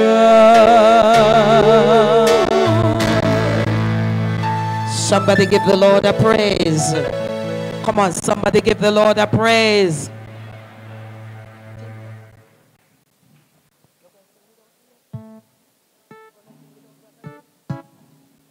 Come on, somebody give the Lord another praise. Hallelujah. God is good. Amen. In him will I trust. For they that trust in the Lord shall be like Mount Zion. Amen, somebody. Amen, somebody. Oh, glory to the Almighty God. Blessed be the name of Jesus. At this time, we'll be having the St. Mark's United Church Choir. They will be ministering. This is where Sister Sandra would go to church. Hallelujah. They are here. Their choir is here to minister this afternoon. And then after they minister, bless God, then our host pastor for St. Mark's United Church, mighty God, hallelujah, will be coming and he will be presenting to you, bless God, the day's speaker. So Reverend Tucker will be coming after the choir sing to present to you the day's speaker, the messenger, the sermon person. And so in him will I trust. So at this time, put your hands together as you make the choir of the St. Mark United Church. Uh, welcome. Come on, put your hands together for them. Glory to God.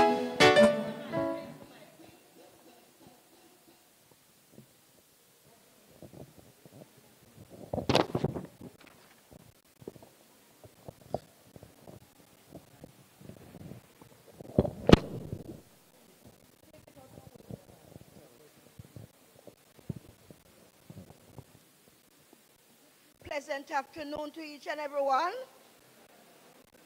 This is a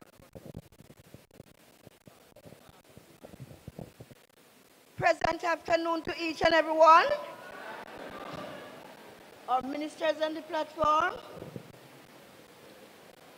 and all our members of this side, bereaved families, close friends, and the rest of the congregation, greeting in the precious name of Jesus. This is a short tribute from us at St. Mark's United Church. This lady is a special lady. She's loved by all. But it's one thing when she comes over and she comes with her sisters to church, she will sit very quietly until the end of the service. She would greet each and every one. But this special Sunday, when she comes with her two sisters, she said next time she come, she will bring her uncle with her.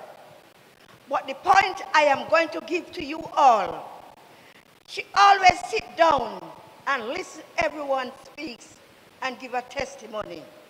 But this special Sunday, my God, that lady stand up and he gives us a testimony. It was like she was preaching the old sermon to the old church. She's loved by all. She loves her families. She loves friends. She loves children. And most of all, she loves St. Mark's Church. Bereaved families, one thing she asked for, please remember to put Mama's plaque up. Because that was the last thing she says to me in St. Mark's Church. Bereaved family, please don't grieve too much. May her soul rest in eternal peace. Oh Lord, has led me.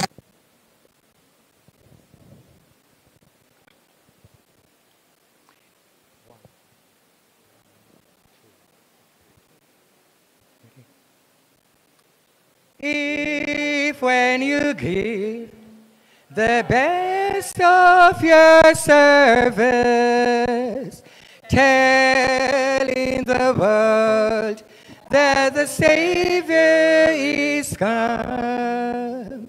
Be not dismayed when men don't believe you.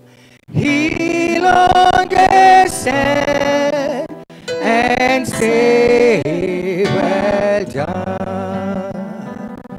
Oh, when I come to the end of my journey, weary of life, and the battle is won. Carrying the staff and the cross of redemption.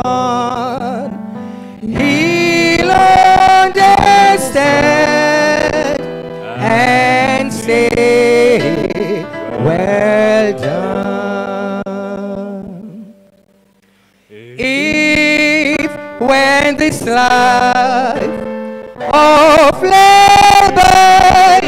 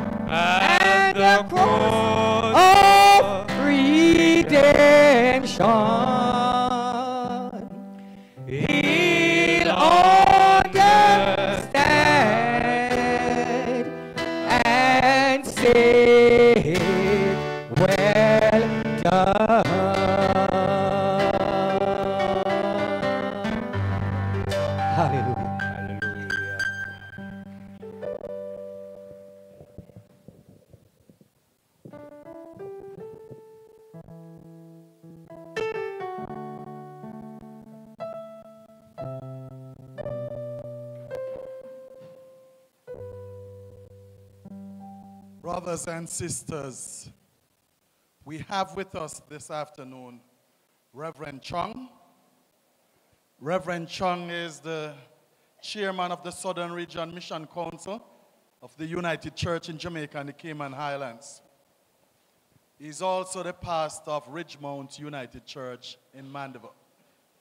When the synod of the United Church heard about the death of Sandra, the moderator called me and asked me, What can we do to really support you? And I said, All right, moderator, when the time comes. Eventually, when he looked through his diary, he had an appointment. So, guess what? He said to Reverend Chung, Please go and support David and the team. So, Reverend Chung, we are happy to have you, sir. Come and share the word. Let us put our hands together as we share.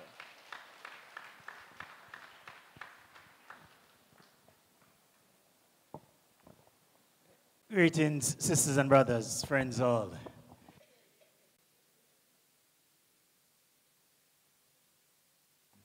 Thank you, Reverend Tucker.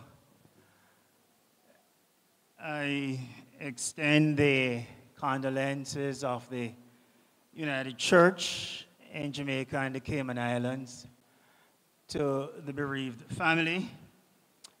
I bring you the sympathies of the Southern Regional Mission Council, our 62 congregations in the parishes of Clarendon, Manchester, St. Elizabeth, and a part of Trelawny.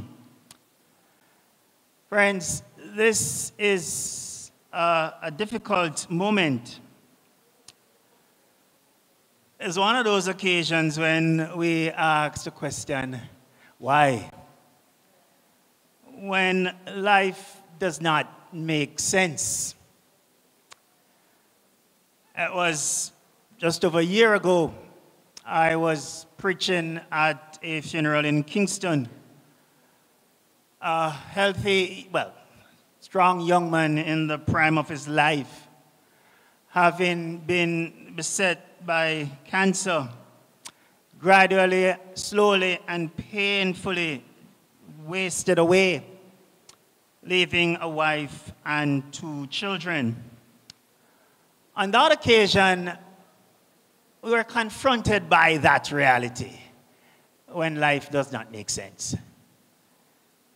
This, again, is one of those moments when there is a part of us that, yes, we, we, we are grateful and we give God thanks and we celebrate a life, but we cannot help but ask, why?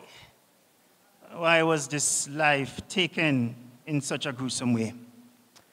So I want to use this opportunity to offer a word that I hope by the Spirit of God will help us to navigate and to make sense of that which does not make sense.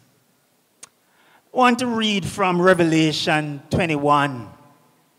And it was referenced earlier in the song our brother Kenny sang.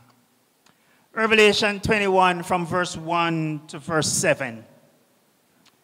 Then I saw a new heaven and a new earth. For the first heaven and the first earth had passed away, and there was no longer any sea. I saw the holy city from verse the 1 new to verse 7. Jerusalem coming down out of heaven Then from God, I saw a prepared new as a bride, and a new earth. beautifully dressed for her husband. For the first heaven and I and heard the a first loud earth voice passed away. from the throne saying, And there was no longer any God's sea. dwelling place is I now saw among the, the people. holy city and God from verse will 1 to verse 7. Jerusalem Coming will down be his out of people, heaven. Then from I God saw himself a will new heaven them and a new earth. beautifully dressed for her For the first heaven will wipe and I the heard a first loud earth voice passed away. from the throne And there was no saying, longer There will be no any more sea. death. Dwelling place is I no saw the people holy city God from or verse pain 1 to verse 7 coming down the old heaven. order I saw the heaven bride beautifully dressed for her One who husband. was First seated on the heaven throne I heard loud have voice made away him from the throne and there was no will be longer no any dwelling place. Is I saw the holy city God are from verse 1 to Jerusalem coming down me, out of Old heaven. order, I saw am the beginning and the end. To the thirsty I will give water without cost from the spring of the water of life. Those who are victorious will inherit all. I will be their God, and they will be my children. The word of the Lord. Let us pray. Speak to us now, O God, in the stillness of this moment. As we reflect upon sacred texts, may we hear a word from God. And so may the words of my mouth and the meditations of all our hearts be found acceptable in your sight, O Lord, our strength and our Redeemer. Amen. I want you to rest assured I'm not a long preacher, so you can bear me out. I hope that as we share together, I'll be able to hold your attention You have been here for a long time. A lot has been said already. And so I am mindful of that. And I won't keep you long. I will be a little longer than two and a half minutes as allowed by the moderator. But don't worry, you'll be out of here before you can say lickety split. So, the Jamaican culture is an oral culture. We're used to telling stories, Nancy stories. We talk about things. That's why companies like Digicel and Flow make so much money. Jamaicans like to talk, Jamaicans like to listen. We like to talk about what's going on and share the different experiences of our life. What happened with our children, our grandchildren. Grandparents love to boast about their children. We like a good story. Today I want to talk to you about three stories. One you have already heard, the story of Sandra's life.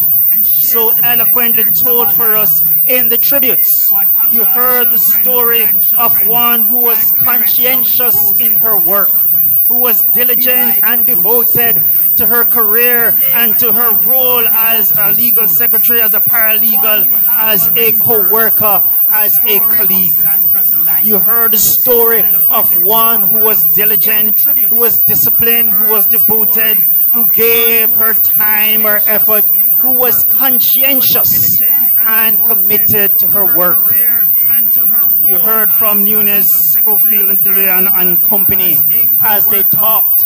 When we looked this morning, and those from that company were asked to stand a large contingent, a grand representation, testimony to a woman who gave her all to her work. As one speaker said, she was married to one man. Nunes, Scholefield, Leon and company. That's part of her story. You heard a story of a woman who was committed to her family, who loved her nieces and nephews and all her relatives and made them important in her life. That was Sandra's story. You heard of her commitment to her church and her faith in her Lord her story is a good story of a life well lived. And yet we also know that that story ended in quotes very tragically. And yet still I want to say to you, the story is not ended. Yes, Sandra has died, has transitioned. But we who believe in the resurrection, we who believe in the power of the one who, the one who has power over death, know that there is still another chapter to be written. That gives us hope. That gives us a sense of anticipation, of expectation that yes, we grieve. And grieve we must. I am not one of those who believe that funerals need to become parties. No, funerals are also a time to mourn and to grieve because a great loss has been experienced. Who is going to replace Sandra? We have suffered a great loss, one who was near and dear and precious to us. She's not going to call us anymore can't take up the phone and have a conversation. She's not going to visit us anymore. So there is that reality that we must confront. The reality of death, the pain of loss, and the suffering caused by the untimely departure of one who was dear to us. But through this service, we have heard of a life that had a tremendous impact and who has left mem- which has left memories that will linger with us for years to come. And so Sandra's story continues. It continues in the memories we will share of her, of the time spent with her, as, and the impact she had on our lives, and the blessing she brought to us, and the joy she gave to us. We will continue to tell her story when we sit around at our tables and we say, you know, Sandra, just sit there, so. When we go to the office and we pass where she used to have her office and we say, that used to be, we will continue to tell her story. And we look forward to the day when the final chapter will be written, when we will be reunited with her. Those who believe will be reunited with her. So the story is not finished. And don't feel that it has had a sad and terrible ending. The ending is not yet. It's just an ellipsis, three little dots. If you have ever watched a, a suspense movie and you're watching it and it just pulls you in and then it just enwraps, and you realize uh, there is a part two, there is another chapter. There, the end of the story has not yet been written. Therefore, do not grieve as those who have no hope. Our hope is in the one who has overcome death and the grave. That's Sandra's story in brief. Then there's the biblical story, the story of God, the story of God's work in history. The biblical story begins with a garden where everything is perfect. It's, it's, it's Eden, it's utopia, it, it, it, there's nothing wrong with it. God made a perfect, flawless world with nothing wrong. And then something happened. And what was good and perfect, what God looked upon and says, This is good, became something not so good.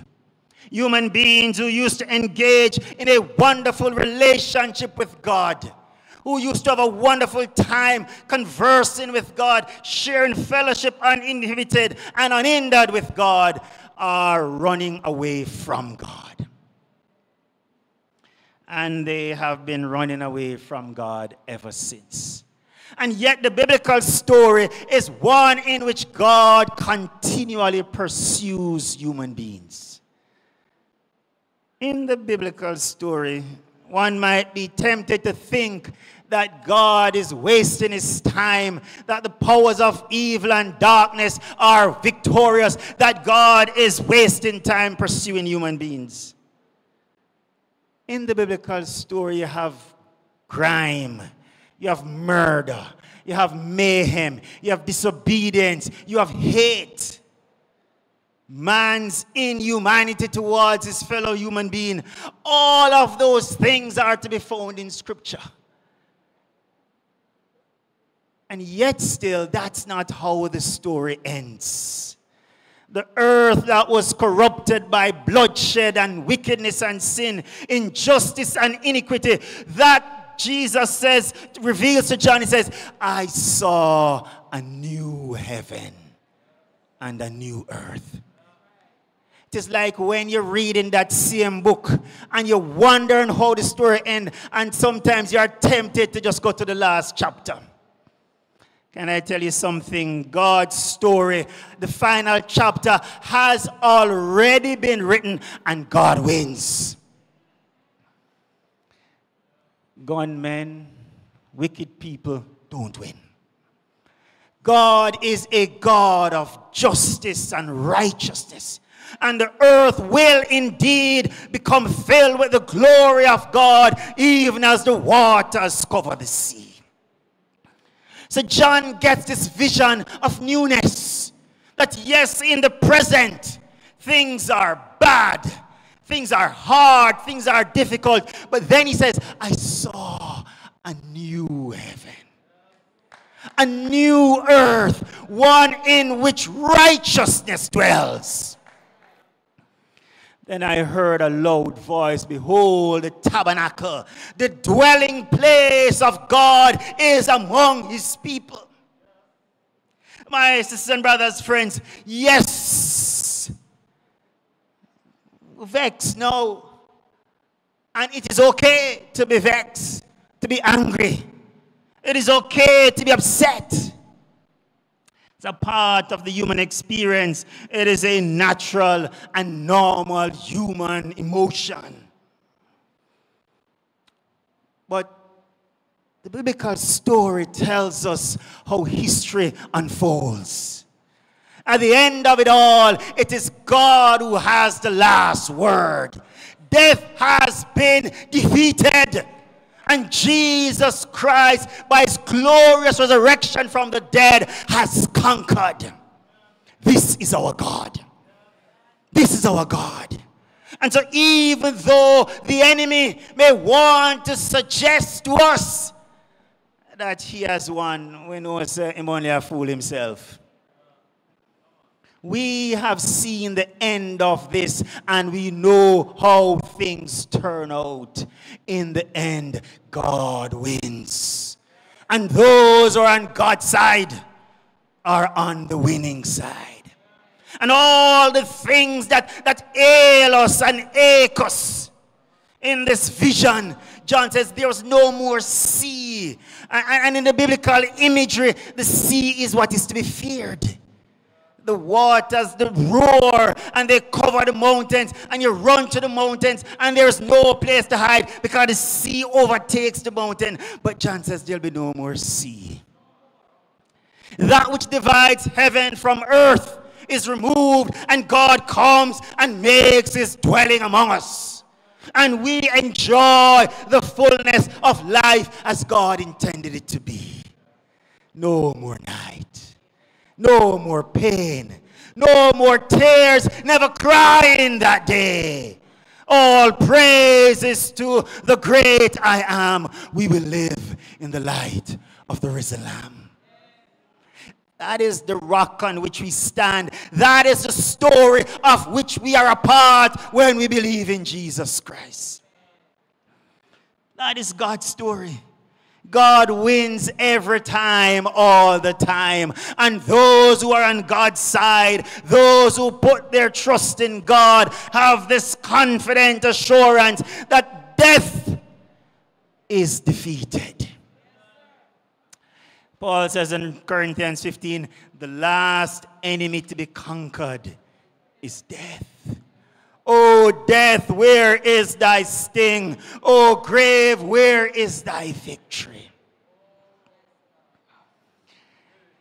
That is the biblical story. And when we enter into God's life, into the life of God in Jesus Christ, that becomes our story as well. So we do not ignore or pretend that death is not real. We acknowledge it. But we understand that there's one who has more power than death. We know that the world is filled with evil and injustice, and there are vile and wicked people. But we know that our God is a God who is just. And he shall have his way. That gives us hope. So, the biblical story, God's story, is about how God transforms and turns around and changes those things that seem so hopeless, so desperate. When we've come to those places where we feel as if there's nothing we can do and life makes absolutely no sense, we turn to the one who has everything in his hand. And so the last story, the third story, is our story. Your story and my story. Each one of us, as we go from day to day, are telling a story. Our lives is telling a story. We are writing a story by our life. And there is going to come a day when other people go and talk about us. Like we're talking about Sandra today when we won't be able to speak for ourselves, when others will describe the impact we had on them and how we lived and how we made them feel and what we did for them. They will remember both the good and the bad. Scripture tells us that every deed be, is being recorded with every secret thing. And so it seems to me then, if we are writing a story with our lives, we want to ensure that we're writing a good story. Nobody's story is perfect. Our lives are not always on, on an upward trajectory, going upward and onward. It's more like this Sometimes we are going to fall down. We have to get up back again. Sometimes we are going to be on top of the world. Other times we are going to feel like the world is on top of us. But when we place our lives in the hand of the one who controls history, our lives have new meaning. The thief comes to steal, to kill, to destroy. Jesus says, I have come that you might have life and have it more abundantly. Life in all its fullness. Life as God intended for it to be. When we have that kind of life, we don't fear death. Whenever it comes, we are assured that we know the one who holds the future. And our lives are in his hand. So I ask you, as we give God thanks for Sandra's story, which continues to be written, as we thank God for the story that He, God, is writing, let us reflect on our own lives and the kind of story our life is telling. When you engage with somebody, what kind of impact do you leave? Every time you interact with somebody, you leave a piece of yourself with them. And we must ask ourselves, what am I leaving behind? It is a good thing, and the lawyers here will tell you it is a good thing to have a will. Make sure you write down all the things you have and who you want to get it. And we're to be diligent in that. So nobody no fight over the dead left after we're gone. But more than leaving material things, can your story leave a legacy of faith, of kindness, of diligence? Can you bequeath to those who come in contact with you and those whom you leave behind a good aroma? That when they speak of you, it brings a smile on their faces. Can you leave a story that long after you're gone, generations, children, grandchildren, great grandchildren will talk about you.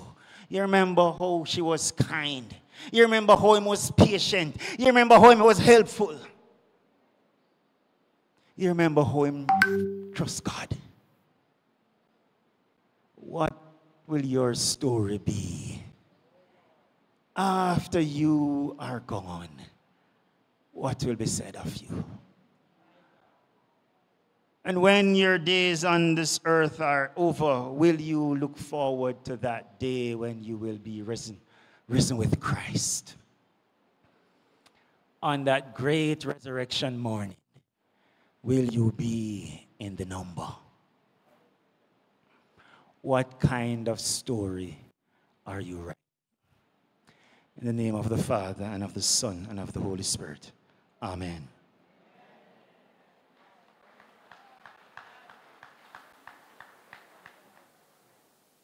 Can we give the Lord a praise? Come on, somebody still give the Lord a praise. Thank you very much for such timely and soothing word of comfort to the family and to all of us. And all we have to do is to just keep our eyes on Jesus. At this time, we will be having the prayer for the family and I ask you not to go, for there's a thank you that will be coming after the prayer for the family. So I'm asking at this time all the family members to come as close as possible. If you are on the outside, please come on inside. If you are on the outside, please come on inside. It's time to pray for you. And I ask the congregation, you have done so well. Please don't go until we have finished the prayer and the thank you and go into the recessional hymn. Bless the name of the Lord. I'm going to ask Pastor Samuel Deacon to come and he is, will be praying this prayer for the family.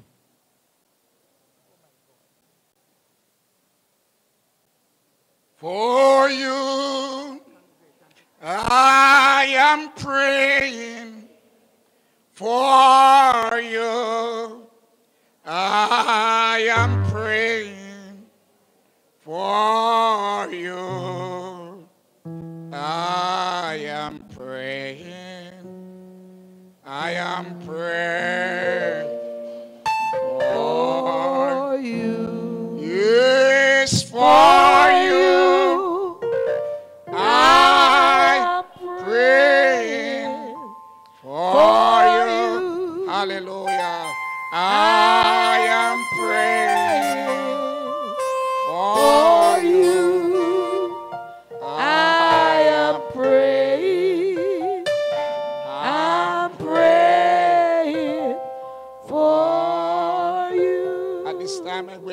ask the congregation to stand while the family members remain seated.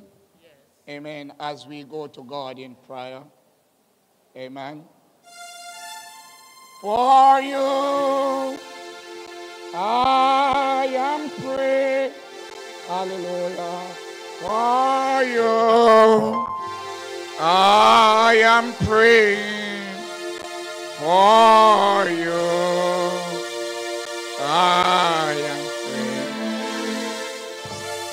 I'm praying. For let us engage in prayer. Eternal God and our Father, our friend, our shepherd. Today, Lord, we come to you to give you thanks for your great mercy and for your love towards the children of men. We thank you for dying on the cross. Through your shed blood, we have access unto the throne of grace. You tasted of death, Lord, that we can have life. You went down to hell that we can go to heaven. We worship you. We adore you. We praise you, Lord, for all your goodness. Lord, here we are today in this Thanksgiving service for our friend, or our sister. Oh God, somebody that is so nice to all of us. We mourn our passing. Every man today that have anything to do with Sandra, we are deeply mourning. We mourn in the loss of her. We are sad in our hearts. But you said in your words, let not your heart be troubled. For he that believe in God, believe also in me. For in my father's house are many mansions. If it were not so, you have, would have told us. I pray today for the family members. Oh God, I know it is very hard. It is hard to lose our loved ones to the grave. Hallelujah. Today we are mourning deeply, Lord, because we know Jesus that the enemy have tried to do to vex the family. But I pray that you will comfort our hearts today. I pray, Heavenly Father, that thou will strengthen everybody, every one of us, all the nieces, the nephews, the sisters, the brothers. Oh God, I pray today, because when you were here, Jesus, oh God, you stands and weep at the grave where Lazarus sleep. Oh God, we thank you. The only hope that we have today is that you is a resurrection and a life. And if we believe in you, though we are dead, yet shall he live. And whosoever liveth and believe shall never die. I pray, Lord, that they will comfort the family members. Strengthen them if ever a time. They need your strength is now. Hallelujah. If ever a time they need to be comforted is now. I pray, God, hallelujah, that they will bind them together with loves that cannot broken, the cord that cannot be broken.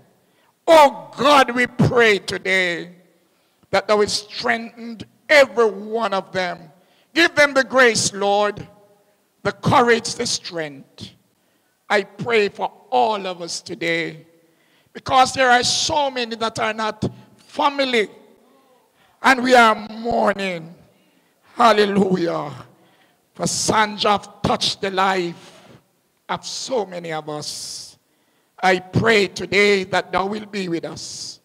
Guide every man, strengthen them, and comfort all of us as this our time of bereavement. I pray your Holy Spirit will be with us as we look to you and tell you thanks. In Jesus' name, amen. Bless the Lord.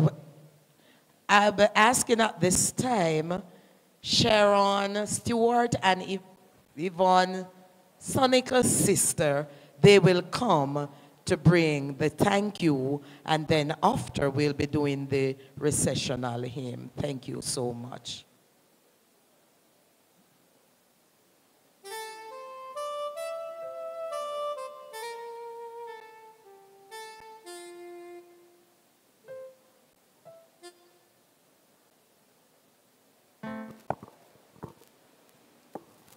Good afternoon, everyone. On behalf of Sandra Risden family, we would like to extend our heartfelt gratitude and thanks to each and every one of you who prayed, called, sent a text of comforting words, those who came and sit by, give a, give a hug, and those who came from far and near, thank you. To family members and those who work tirelessly to make this journey a bearable one. We take solace knowing that we are not alone. Thanks for the, for the incredible support surrounding us. Thanks to Witter and Son for their wonderful job. May God continue to bless us all, spiritually, mentally, and in good health. Thanks again. Blessing and love to all.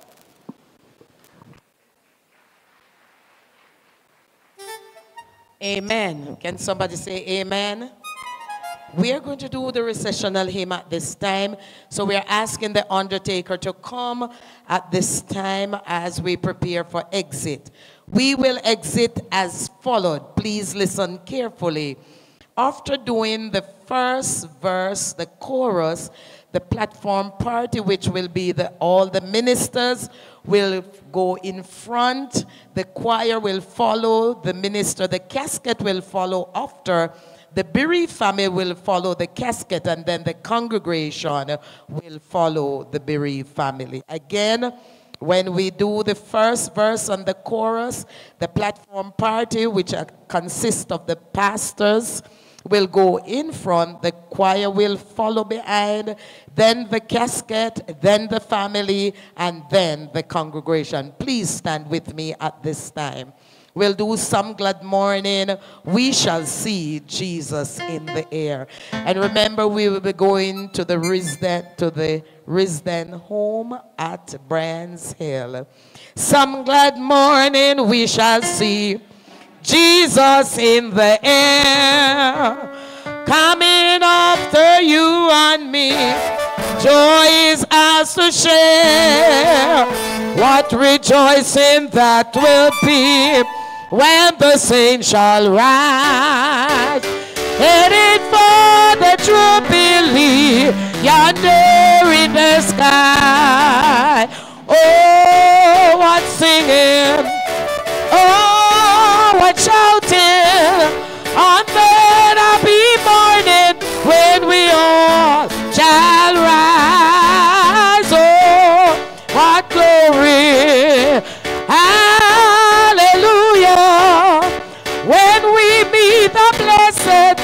When we meet the sky. Seem that now. I almost see all the saints are dead, rising for the true belief that is ahead. In the twinkling of an eye, change with them to be. All the living saints to fly to that you believe. Father said, oh, what singing, oh, what shouting, and then happy morning when we all shout.